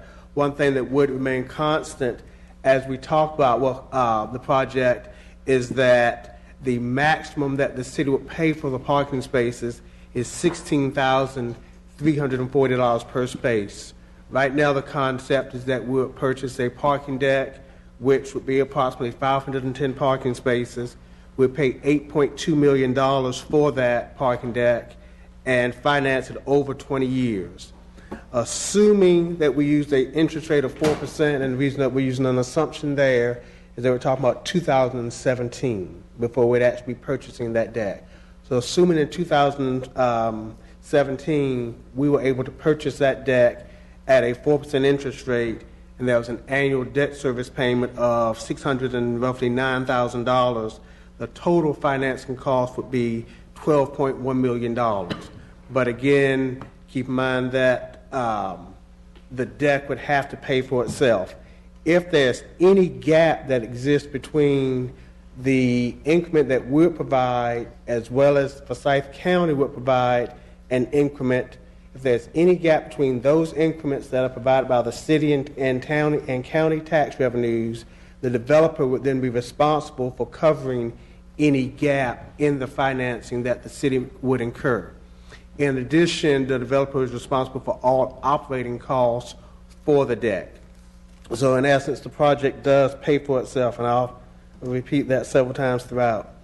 A couple things that um, I'm sure you all are interested in are what are some of the benefits to the city?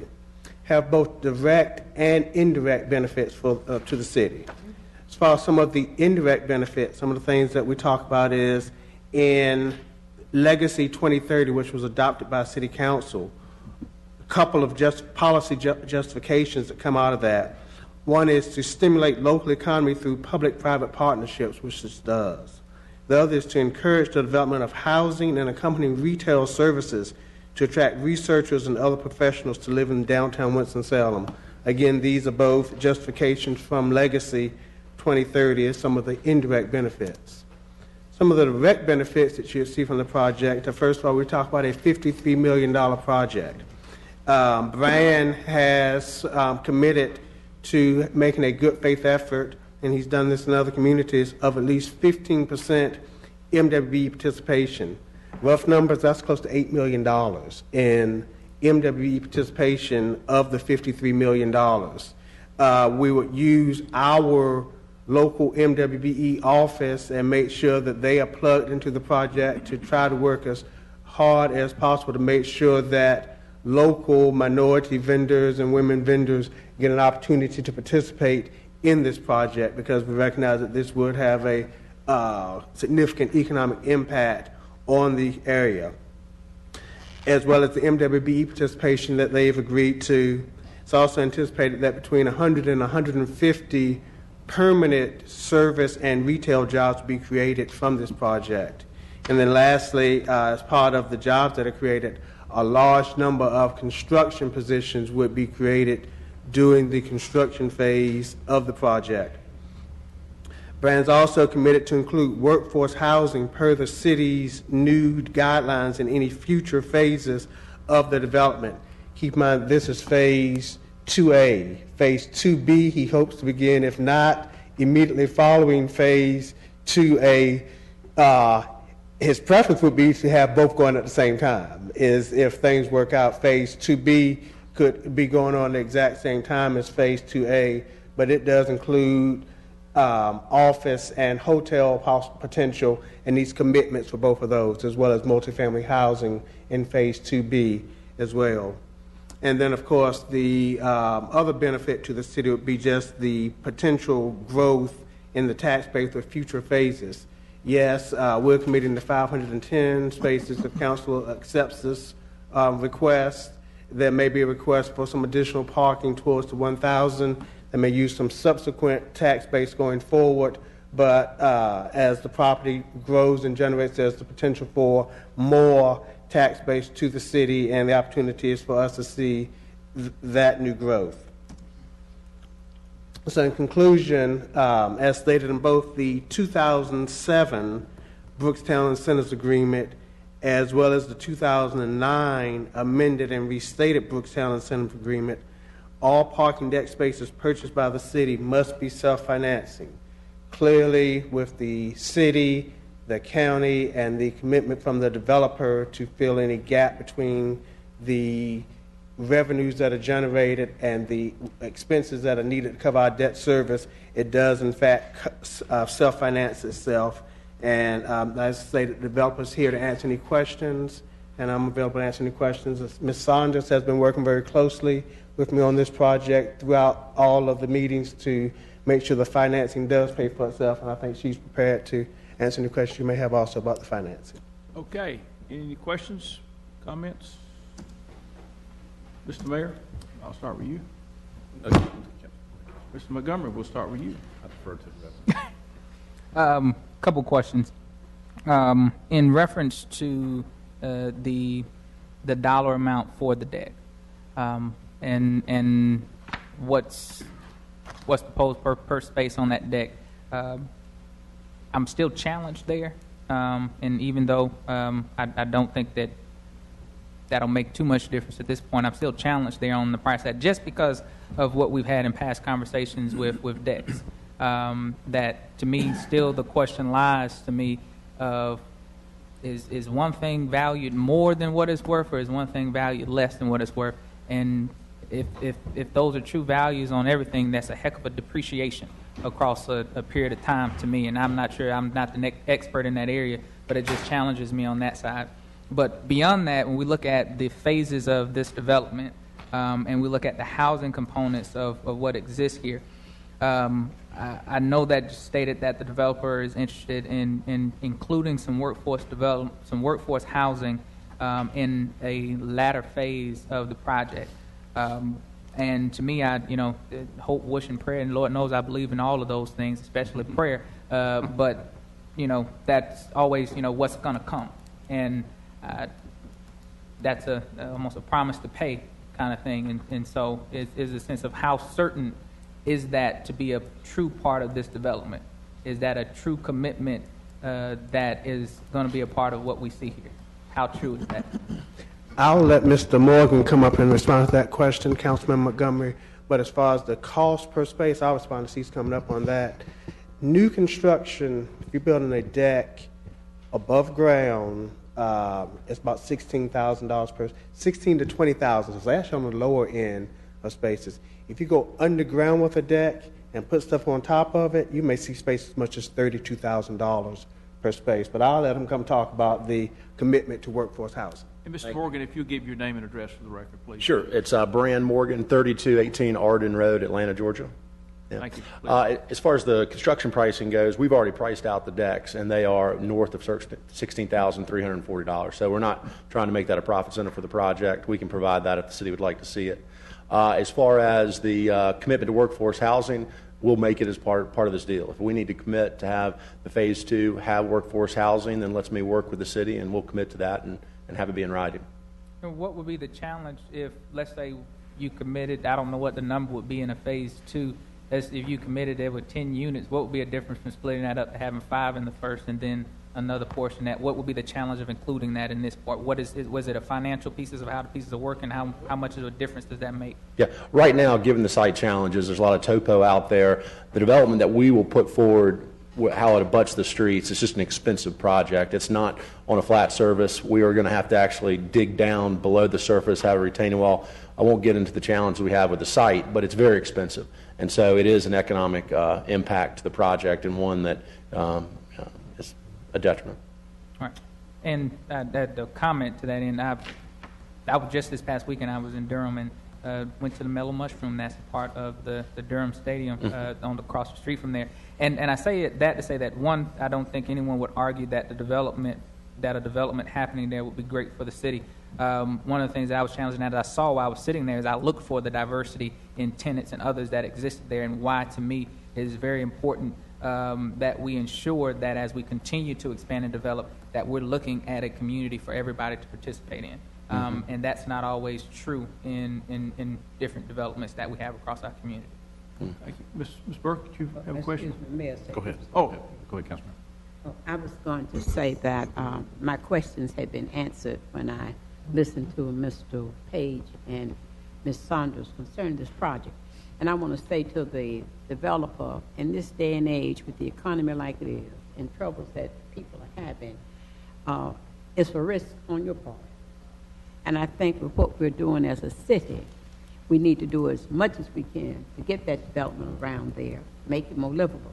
And I agree with one thing that um, Councilman Montgomery said. We wanted to look as diverse as we can, like people coming and going, enjoying tax dollars and also your dollars if this project passes. Okay, Mr. Mayor? Uh, Certainly, I'll just pile on here to say that uh, thanks to Mr. Morgan for looking at our city for this investment. I think the staff and, and uh, you and others have worked hard and have got a, a project structured that's uh, about as risk-free as a city can get involved in. Uh, we, we will not buy the deck unless the tax value is there. If there's any shortfall in the operating, uh, the, the debt cost, the developer pays for that. Mr. Clark uses a term, I think, uh, the, the, right now, the way the deal's set up, the, any incentives for tax base goes to the investors. We're simply using their money to pay for, for this debt. Right. It'll create uh, 150 new jobs in our community. And the phase two, I I agree with Councilmember Montgomery, uh, we do believe in prayer, but it's better to see it writing. So uh, that's, that's great. I appreciate your All right. commitment for the workforce housing on that as well. Thank you. And we are working with hotel flags and office tenants now. So phase two isn't in the future. We're working on it right now, but we're ready to go on phase one today. Okay, Ms. Adams? Yes, again, um, Mr. Brand, thank you so much for, again, as Councilmember Burke said, for looking at our city. Um, Again, I know our citizens sometimes don't like the decisions that we make, but we make these decisions based on looking into the future. This council is not going to be here in hopefully 10 or 15 years, uh, but the city will. So our job is to always be moving forward in trying to create the economic and community development. Uh, I too, as you know, are concerned about the NWB part of this deal. I'm also concerned about the affordable workforce housing. I'm also concerned about those 350 jobs. And as Councilmember Burke and Montgomery said, if we can't live in phase one, I mean, some of us probably can. I don't have that kind of money. But if we can't live in phase one, there needs to be a serious diversity going on in these three categories right here that I will, uh, Mr. City Manager knows we will be holding him accountable and Mr. Assistant Manager there to keep us updated as to how you're hiring, who's involved, what companies locally, are they from here? Because all of this, our goal is to constantly keep the money in the city to the people who really need the economic and community development. But again, thank you. I look forward to working with you, and uh, I know that uh, we're going to make this work. We are. Thank you. Okay? Mr. MacIntosh, you had your hand up. Yeah, I, do, I want to say thanks to both staff and Mr. Morgan for hanging in there on this. I know this went back and forth across the net quite a few times, um, which probably says that we all got out of, the, out of the deal what we really needed, not necessarily what we wanted. Um, so I think we drove a good. Had, I think it's a good bargain. I do have a question, a couple of questions. What will, what will be the trigger event to start uh, Phase 2B? Uh, Need a hotel flag for the hotel portion of that, and then we're talking to office tenants. In order to get a project of this magnitude at the scale that we would like, we need to have a lead tenant in order to break ground on the office. Will you need both, or will one? The hotel can start independent of the office, but the office will obviously demand the phase two of the parking, uh, which we are definitely planning on uh, moving forward with also. Okay. And the six million of the eight million dollars for the deck that we're that we're financing, it, the revenue, the payback on that is coming from, is it TIF money or is that parking revenue, or a combination? It's, it's all TIF money. It's all tax, Tax tax, increment. tax increment from the city and the county. The county that- has stepped forward and agreed to cover a good. I know that good- was one of the bargaining, negotiating points in the deal. Okay, thank you. Okay, Mr. uh, Taylor, you had your hand up. Thank you, Mr. Chairman, members of the council. Uh, I definitely think this is a good deal. Uh, I must admit, uh, when we first started off with this deal, I was a little bit nervous about it. I always think that if I'm nervous, that means I need to go and meet with some of the members of my, of my community, uh, our constituents, and hear what they have to say about this project. I had three community meetings, uh, which totaled about 200 people uh, off of uh, Union Cross Road, and more importantly, in this area off of Barnes and the southern part of Peters Creek Parkway, which Councilmember Leight and I share.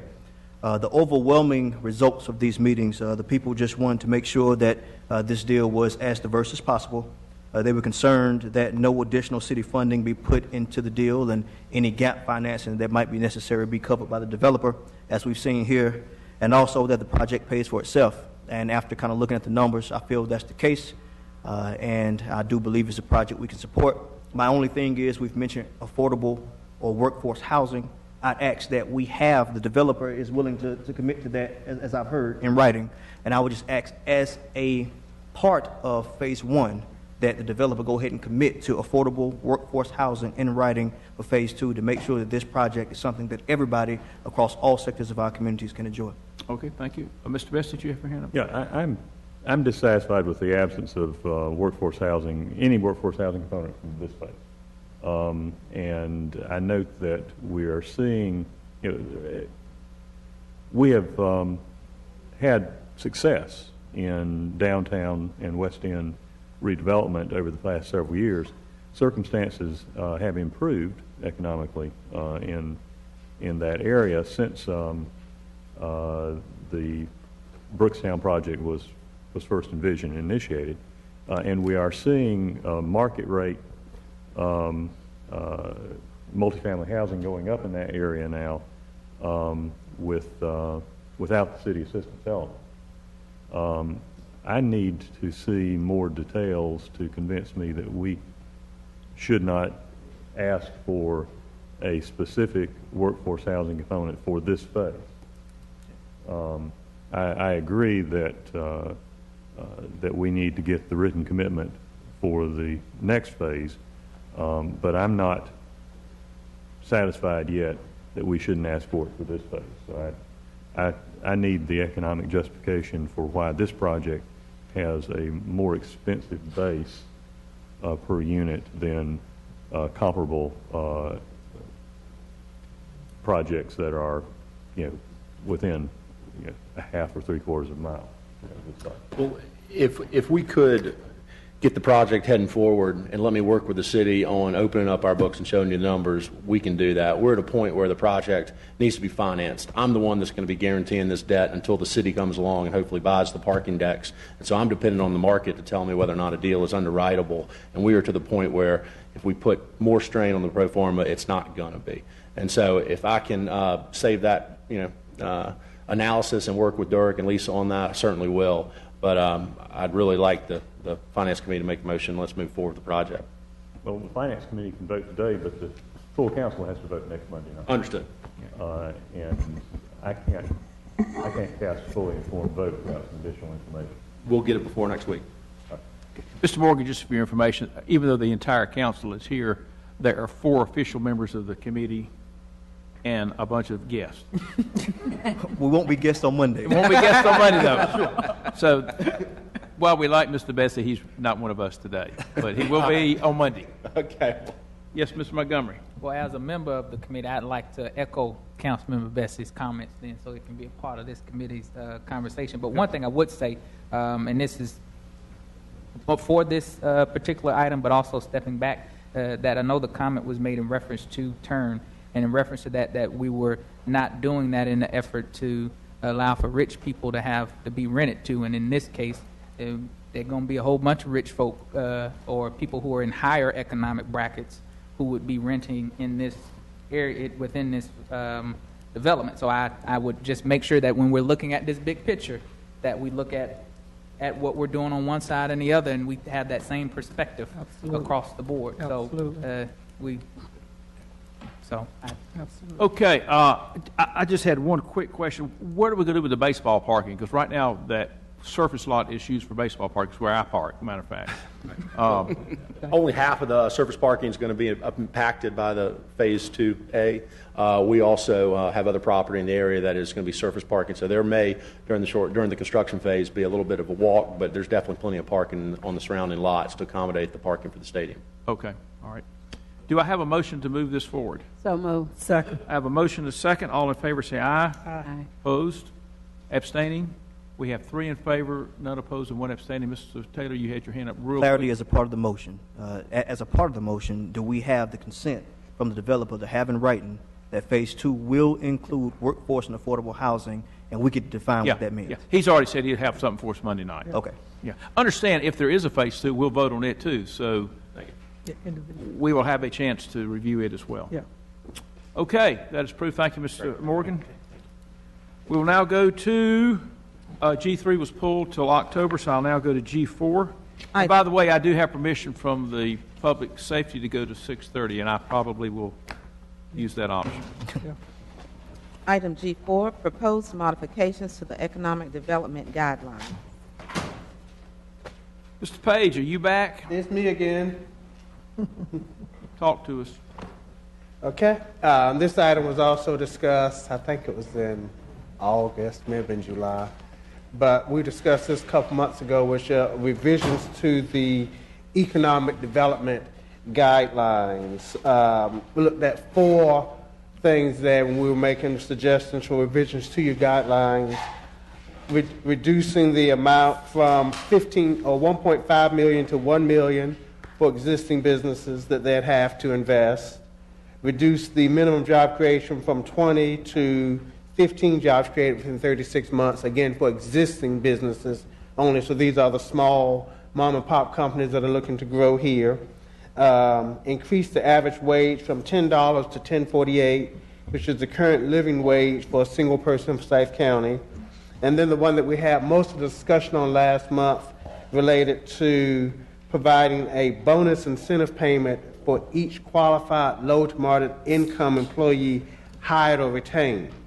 Um, and we were looking at employees that lived in the NRSA. Based on comments last month, we've expanded that a little, a little bit to say not only that live in the NRSA or other low to moderate income persons living outside of the NRSA with similar barriers to employment. So we've expanded it to include um, low moderate income employees in or outside of the NRSA. The other conversation that we had about this same piece was last month we were recommending a $250 allocation for each job created for low moderate income. I think there was some concern that that wasn't incentive enough to incentivize, to, um, incentivize a company to actually hire those individuals. So you looked at a couple of options for how do we do that. I think one discussion was we could actually increase that amount to 1,000 or $1,500 per job. And the other discussion was do some type of set aside. So what I have here before you are a couple of scenarios that do both. Um, and I'll just quickly go through those. You have them at your place, and I apologize again that they weren't in your book. But I think I can sort of walk you through this.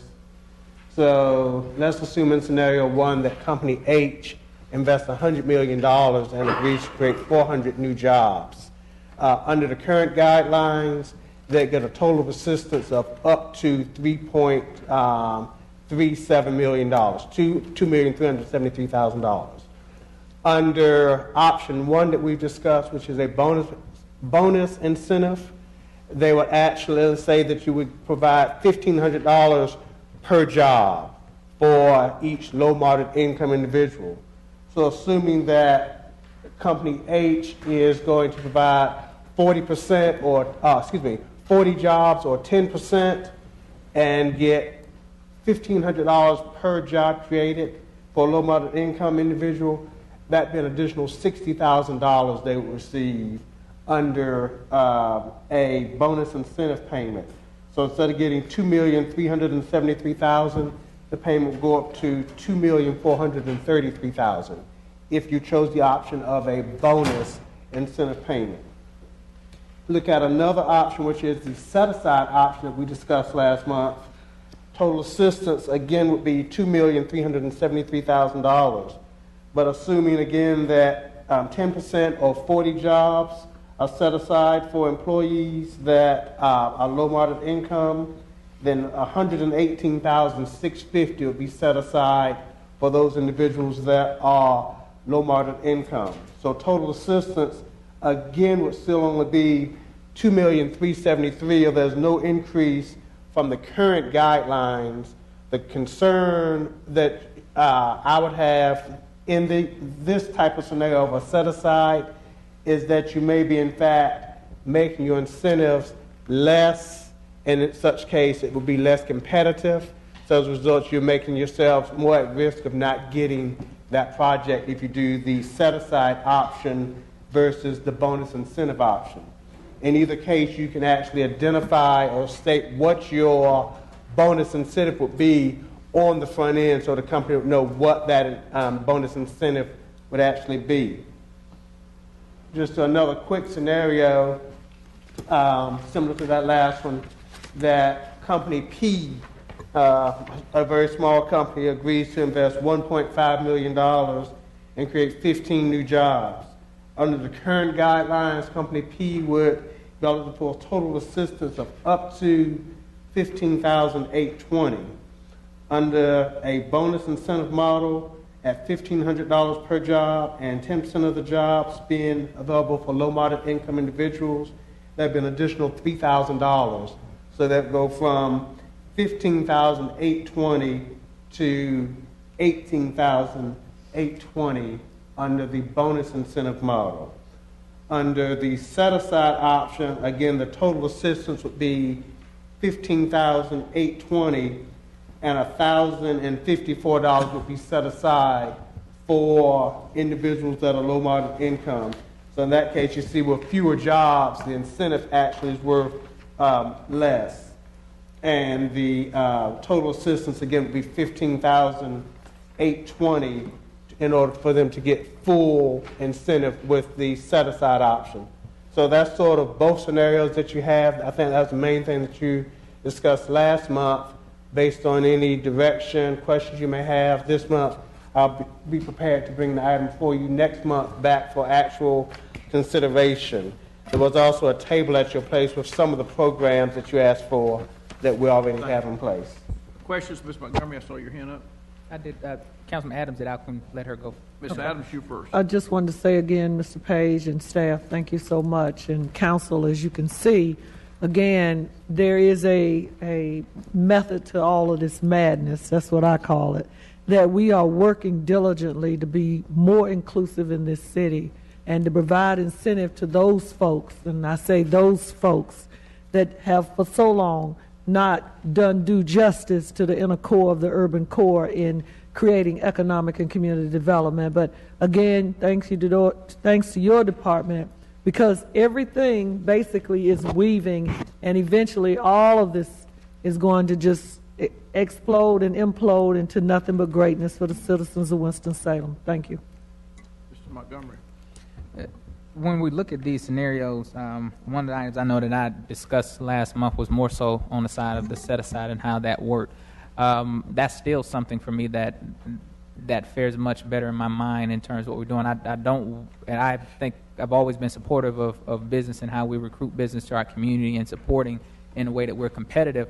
Uh, but I think if we're serious about making sure that businesses come into our community, and those same com- they, those same businesses are committed to hiring individuals within these areas, the how does that present a challenge? And the only way I can see it is if these jobs are so specialized that you know that then we can find some issues there. But if we're looking at, at general opportunities for people to be employed, I don't see how the set aside uh, option um, makes us less competitive if that company is committed to to, to, to hiring um, in our community. I, I know that we want to be flexible in these things, and that when you start putting in different things in place, that it makes you know doesn't leave as much uh, leeway in negotiation room. But if we're serious about it, uh, you know that bonus piece is saying, okay, we'll give you this extra if you do this, but there's nothing that compels them to do it. But if this is what they need to be able to make what they want to do happen, I think that's much more compelling, um, and that seems a, a better message. And I don't know if we want to send that message and get the jobs or don't get the jobs, but I think if what we're trying to do is truly uh, impact these areas of our community where we know they're challenged with employment, I, I'm I'm more inclined to do uh, what's going to make them do something rather than again going back to what we hope they'll take advantage of. Mr. Chair. Ms. Ms. Burke. I believe with the way the city is developing, um, business will want to come to Winston-Salem. And they will do, if they really want to come, they will do what it takes to get here to this city. I'm just going to give you one example. When we was talking about Walmart out there at um, Hanes Mill, one store created all of that. When they all came, look what it created. Look what's being created when we see these business people coming and bringing business. So I, I believe that uh, where we're heading and how our city is responding, businesses will want to come to Winston-Salem and do business. Okay. Mr. Mayor. Um, Thank you, Mr. Chairman. I, I think, um, I, I agree with Councilmember Burke that uh, I think we, we do have a good momentum going here and probably the set aside would work in most, most cases. Uh, you hit on a good point. There may be some very specialized situations where the set aside is not gonna, not gonna work. I wonder if we might could, uh, give the staff the flexibility to maybe mix and match a little bit if a deal came forward and say, okay, we want to do a set aside of X and then a, a bonus payment of, of Y for this particular company because of the special makeup of the jobs or something of that nature. And it's kind of give the, we could say set aside would be the normal course of business, but there would be an opportunity staff could, could bring a little special one if, depending on the situation there, something like that. Mr. Paige, I, be sure I understand this. We're going to, either through a set-aside or a bonus, whatever you call it, compensate them or give them more money for hiring low-income people. Under the set aside, they wouldn't get more money, they would get the same amount of money. Under the bonus, it would be additional funds for hiring low moderate income. And offenders. And offenders. Okay.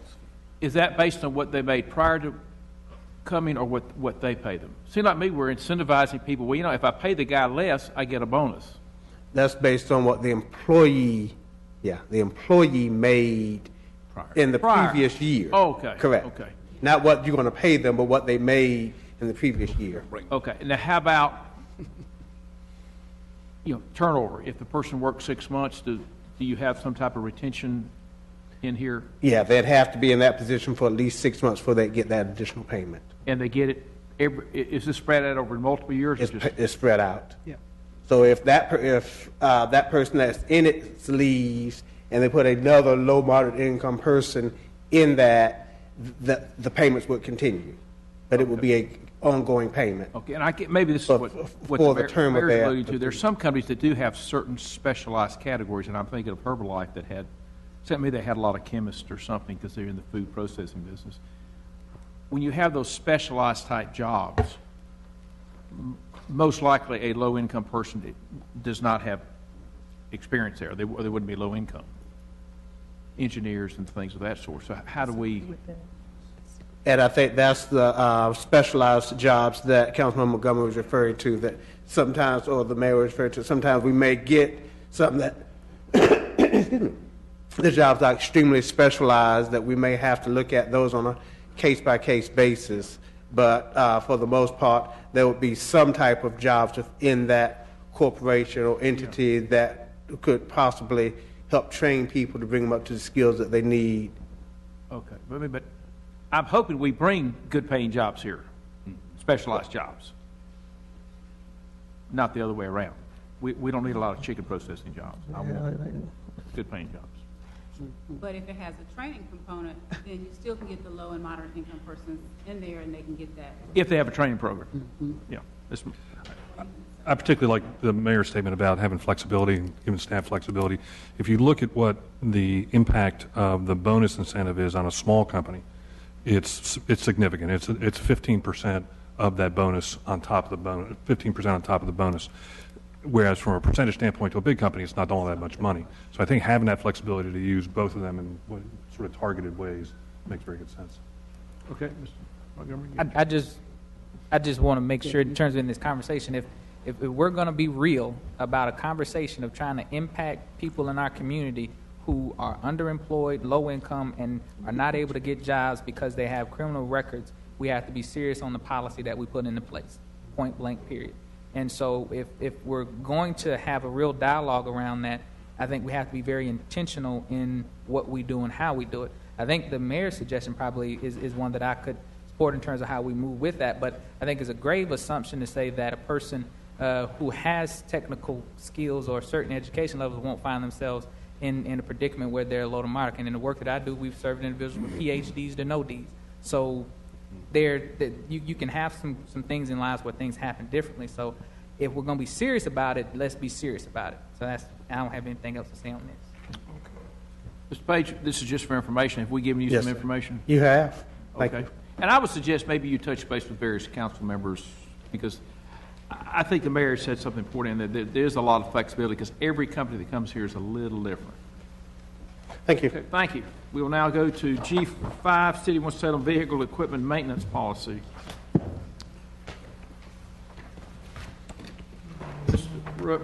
Ralph, before you start, let me see what the last one, the last one item is the community agencies. Okay, we're okay. We, Trevor, we may or may not get to you, we'll see here.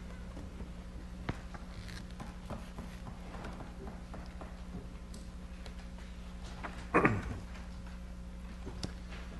Good afternoon, Chairman Clark, Mayor Joines, members of the City Council. Excuse me. Uh, Back in the fall of 2013, the city invested in automatic vehicle location devices to help us with uh, tracking uh, vehicle usage, both the location of vehicles, the speed, idling time, uh, even when a vehicle may be due for service. Um, At the same time, we've also been tracking our auto liability claims over the last several years, and they've been averaging right around $200,000. So based on that data, uh, city staff has uh, come up with some revisions to the city's vehicle, vehicle management policy. That includes not only changes to some of the policies themselves in terms of standards for speeding and idling, but then also uh, developing a uniform disciplinary schedules and also uh, enhancing the safe driving program. Very quickly, just wanted to show you our auto liability claims costs. This is for the last five years. Uh, These numbers include uh, what we pay out for personal injury and property claims. It does not include the city's cost in terms of repairs to our vehicles and any workers' comp claims that we uh, may be paying out for injured city employees. And you can see there that, uh, that over the last five years, it has averaged right around about $202,000. Do you have any idea what that internal costs are to repair our own costs of workman's comp? We, we do not, and we'd have to get that information from our fleet services. Fleet services obviously tracks our repair costs for our city vehicles. That's something that's not paid for through Ramco. It, it's probably at least the same amount. I was, yeah, it's probably worth knowing. Anyway, continue- continue, please. So in terms of the uh, vehicle usage policies, uh, what we're proposing uh, for the idling policy is that no vehicle shall idle for more than 10 consecutive minutes unless required to idle to operate hydraulic or other equipment such as computers and radios. So examples of that, operating the compactors and garbage trucks may require extended idling time. Uh, The lifts for our bucket trucks that we use in, in the Department of Transportation or the Vi- Division of Vegetation Management may require extended idling time. And then our police pursuit vehicles. To operate their mobile data computers, the radios, they would oftentimes have to be uh, idling as well. So there could be examples there uh, where there may be more than 10 minutes, but our general standard is going to be no idling longer than 10 consecutive minutes. So looking at some of the uh, AVL data that we've compiled uh, over the last year, you can see that our percentage of idle time is averaging right around about 35 to 40 percent. Uh, the industry standard is 25 percent. So we know that we have some work to do to try to bring that down, and that's why we are we are uh, looking to make this revision. Um, even for vehicles that really don't have any reason to idle, we would expect it to be as low as 10 percent. But what we're targeting is, is a 25 percent idle time percentage. Percentage of what? Total Per- time. Percentage of the total time When it's that, sitting that the there. vehicle's being operated. Total operating time. So a third of the time, on average, the vehicles idles a third of the time in this city. That's correct. And industry standard should be about 25%. In terms of speeding, uh, number of policies here, no vehicle other than an emergency vehicle shall exceed 10 miles per hour over the stated speed limit for more than two minutes. Uh, No vehicle other than an emergency vehicle shall exceed 15 miles per hour for any period of time. As staff reviewed the policies, we really felt like there was no area other than public safety where a vehicle really needed to exceed the speed limit, um, it's particularly 15 miles per hour. And then uh, emergency vehicles may exceed these speeds only when authorized to do so by state law. And uh, uh, example of that would be when they are when they have to run with sirens and and, uh, and lights. But then finally, uh, the, the police department, even with even with those policies regarding uh, responding to emergencies, the police department will investigate all incidents when a police vehicle exceeds 70 miles per hour. What they'll do is they'll be checking their uh, their AVL data against their computer computer aided dispatch data to see if the uh, high rate of speed was justified for that particular call. Thank you. Mr. Chairman? Do we have questions or comments? You finished? I'm, I'm No, he's No. got some more. Never mind. still moving. Dan, do you want to wait? I can wait. Here, wait, keep going. Okay. Next couple slides just give you some of the AVL data again. If we're using that, uh, no more than 10 miles an hour over the state speed limit for more than two minutes. If you look at public safety, non, excuse me, non-public safety, these are weekly numbers. So this would be the number of incidents where the vehicle exceeded 10 miles per hour for more than two minutes.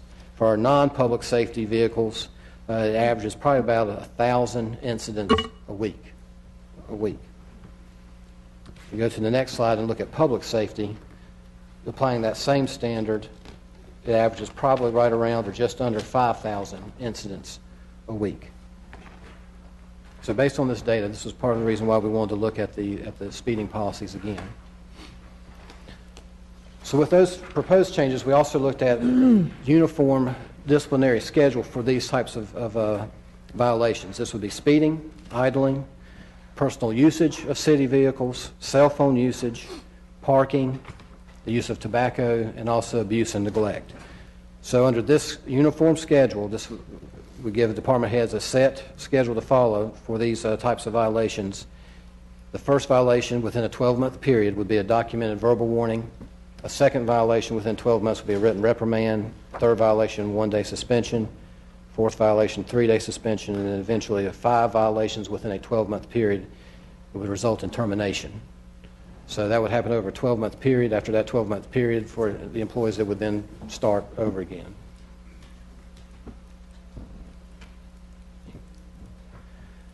So those, that's the disciplinary schedule for those types of vehicle usage um, policies. We're also focusing on you know, trying to reduce the number of preventable accidents.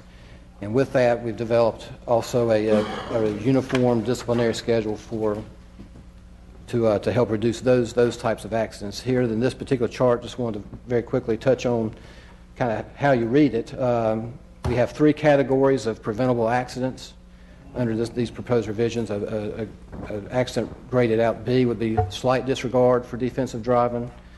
A grade of C would be more than slight disregard, which we consider to be negligent driving. That would be basically violating a traffic law, uh, a violation like that. And then a, a uh, grade of D would be gross disregard for dis- defensive driving, reckless driving, where there might have been serious injury uh, that would have occurred either to the employee or to another individual. Um, all accidents are reviewed by the city's internal accident review board. The accident review board determines first whether the accident was preventable or not, and if it determines it was preventable, then it does score it and grade it. Once that's done, then there's a prescribed discipline uh, depending on the severity of the accident and also how many have, has, have occurred within a certain period of time for an employee. And you can see along the left-hand side there, we're looking at the number of accidents that happened within five consecutive years. Um, the disciplinary could range anywhere from a verbal reprimand for a first-time accident graded out as a B all the way to, to termination.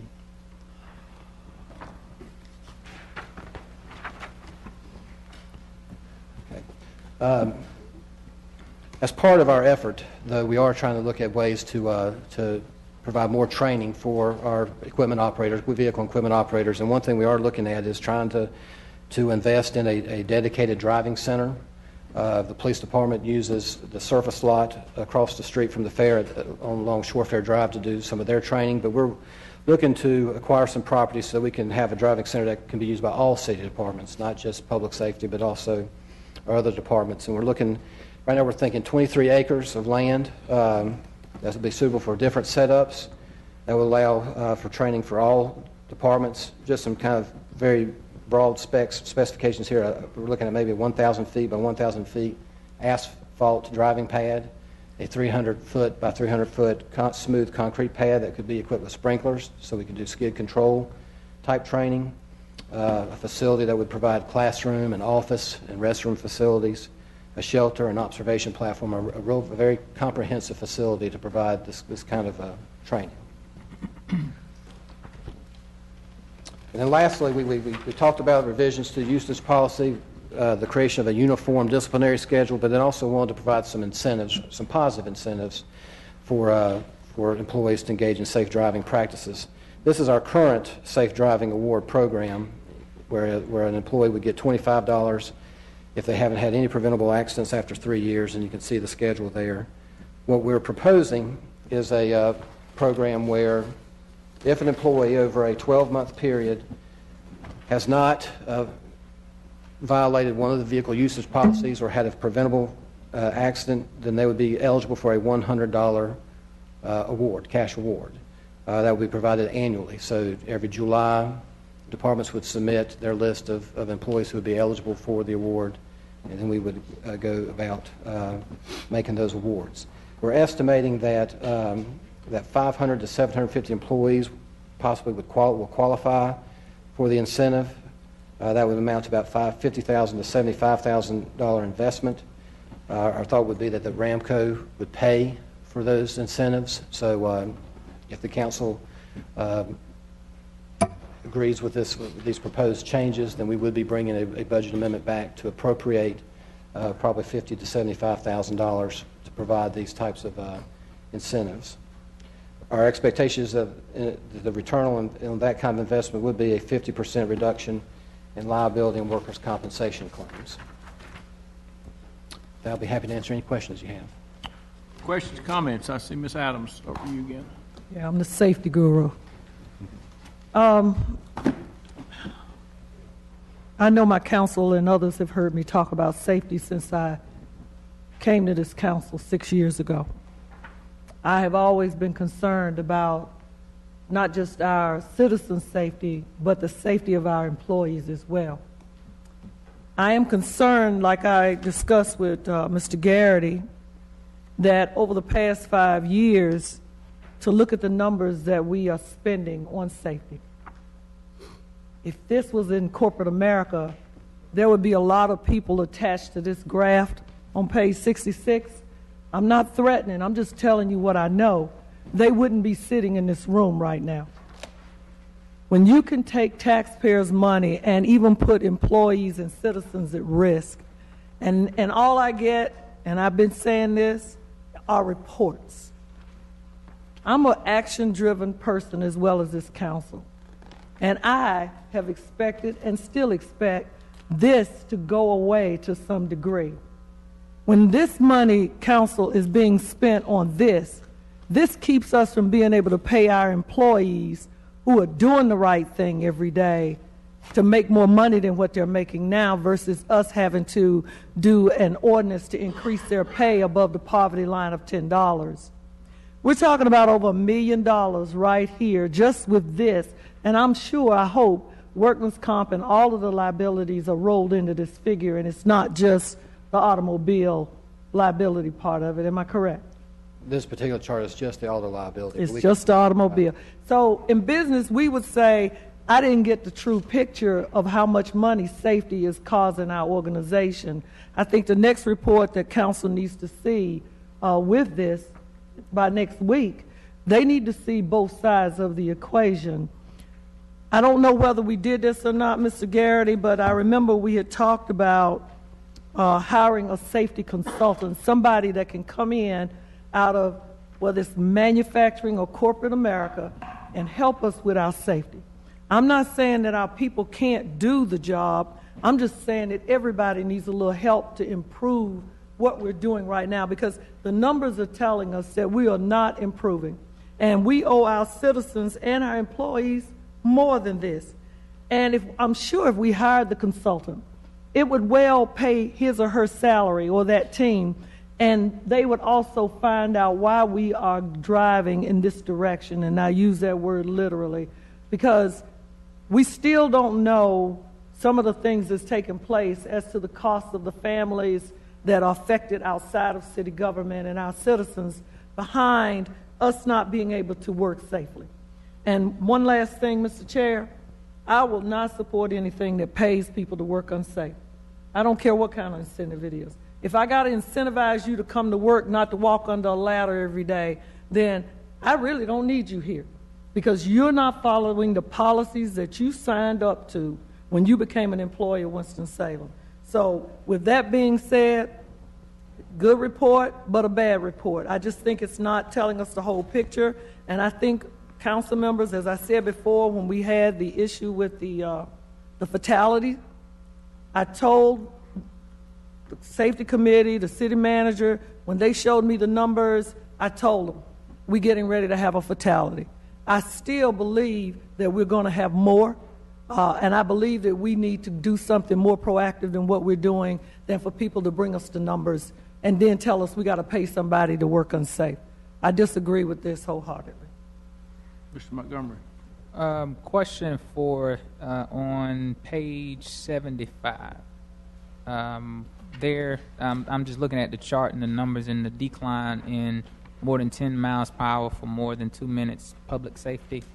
Um, does that word there, looking on the, the latter side of the chart, um, kind of maybe from February through now, was there any any message, any kind of uh, any statements given to public safety uh, from that time forward? Just looking at a somewhat uh, appears to be a, a decline in in the speeds. That way, was there any any general orders, anything mentioned to, to public safety on either side during that time frame, or is that just a, a just the way that the cookies crumbled in that?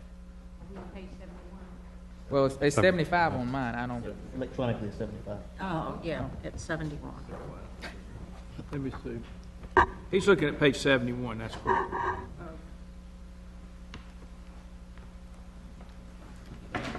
Chief, come on up. Okay. We're talking about your people here. Good evening. I think I understand your question.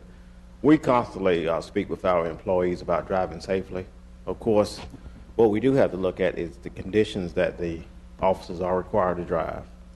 Uh, 24 hours a day, seven days a week, you know, all kind of weather conditions.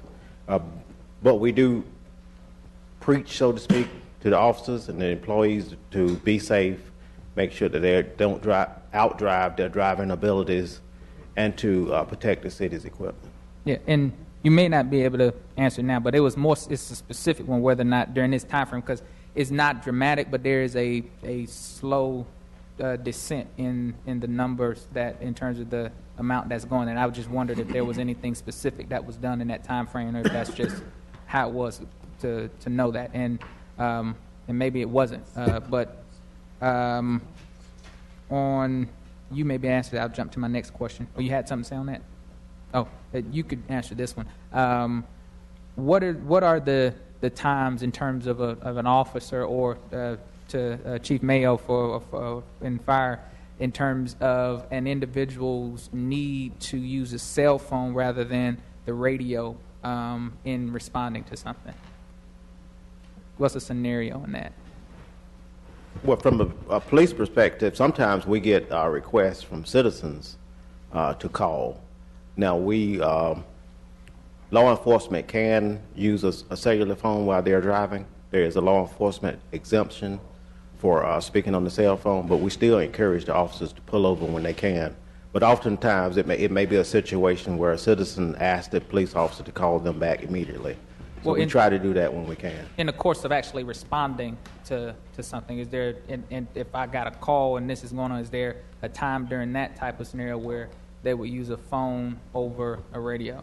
It could be depending on the information that's being relayed. The operator may say uh, what we say is signal six, which, which means call call in. They may not want to relay that information over the uh, over the radio, so they may ask the officer to call in, the officer or the supervisor to call into the center.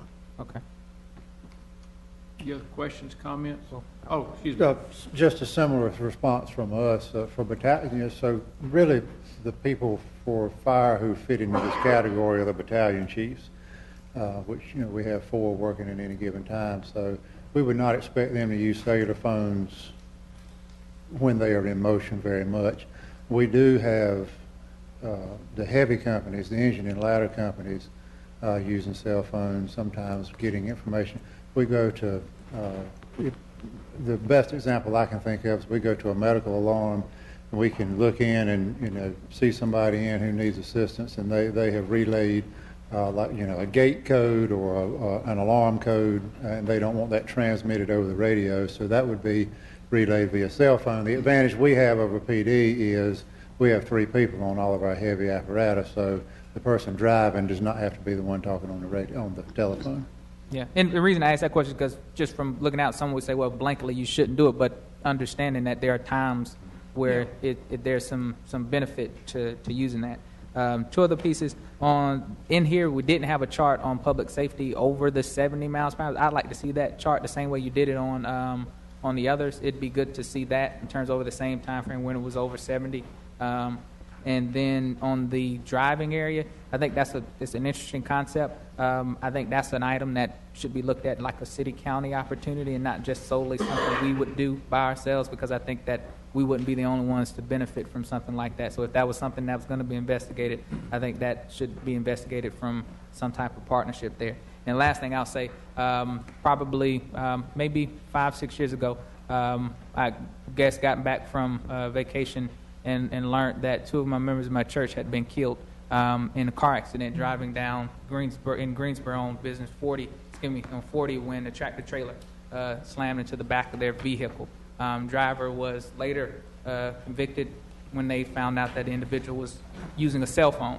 And it was a couple weeks later, I called city manager and told him that we needed to make sure that we had individuals and had a policy in place and making sure that we were becoming safer in what we were doing to make sure that individuals um, who were operating city vehicles didn't end up in those same type of incidents. Um, and I think we continue to have to make sure that we're doing everything possible to make sure that as we're serving, because every day you all go out and serve, and the individuals, you all are working, you all are serving, but at the same time, we have to make sure that people are being safe on the other side as well. So uh, I, I look forward to other things we'll be doing. Okay, Ms. Burke? We want all of our citizens to be safe, and especially the people who work on a daily basis. I feel that the city manager has heard some things we have said because not only some of you are saying things about safety, I believe all of us are talking about safety, welfare of the employees and the taxpayers. These things have had to be discussed because, one, some of our employees have created some problems themselves by being on cell phones. Also, some of them have been driving these vehicles not proper.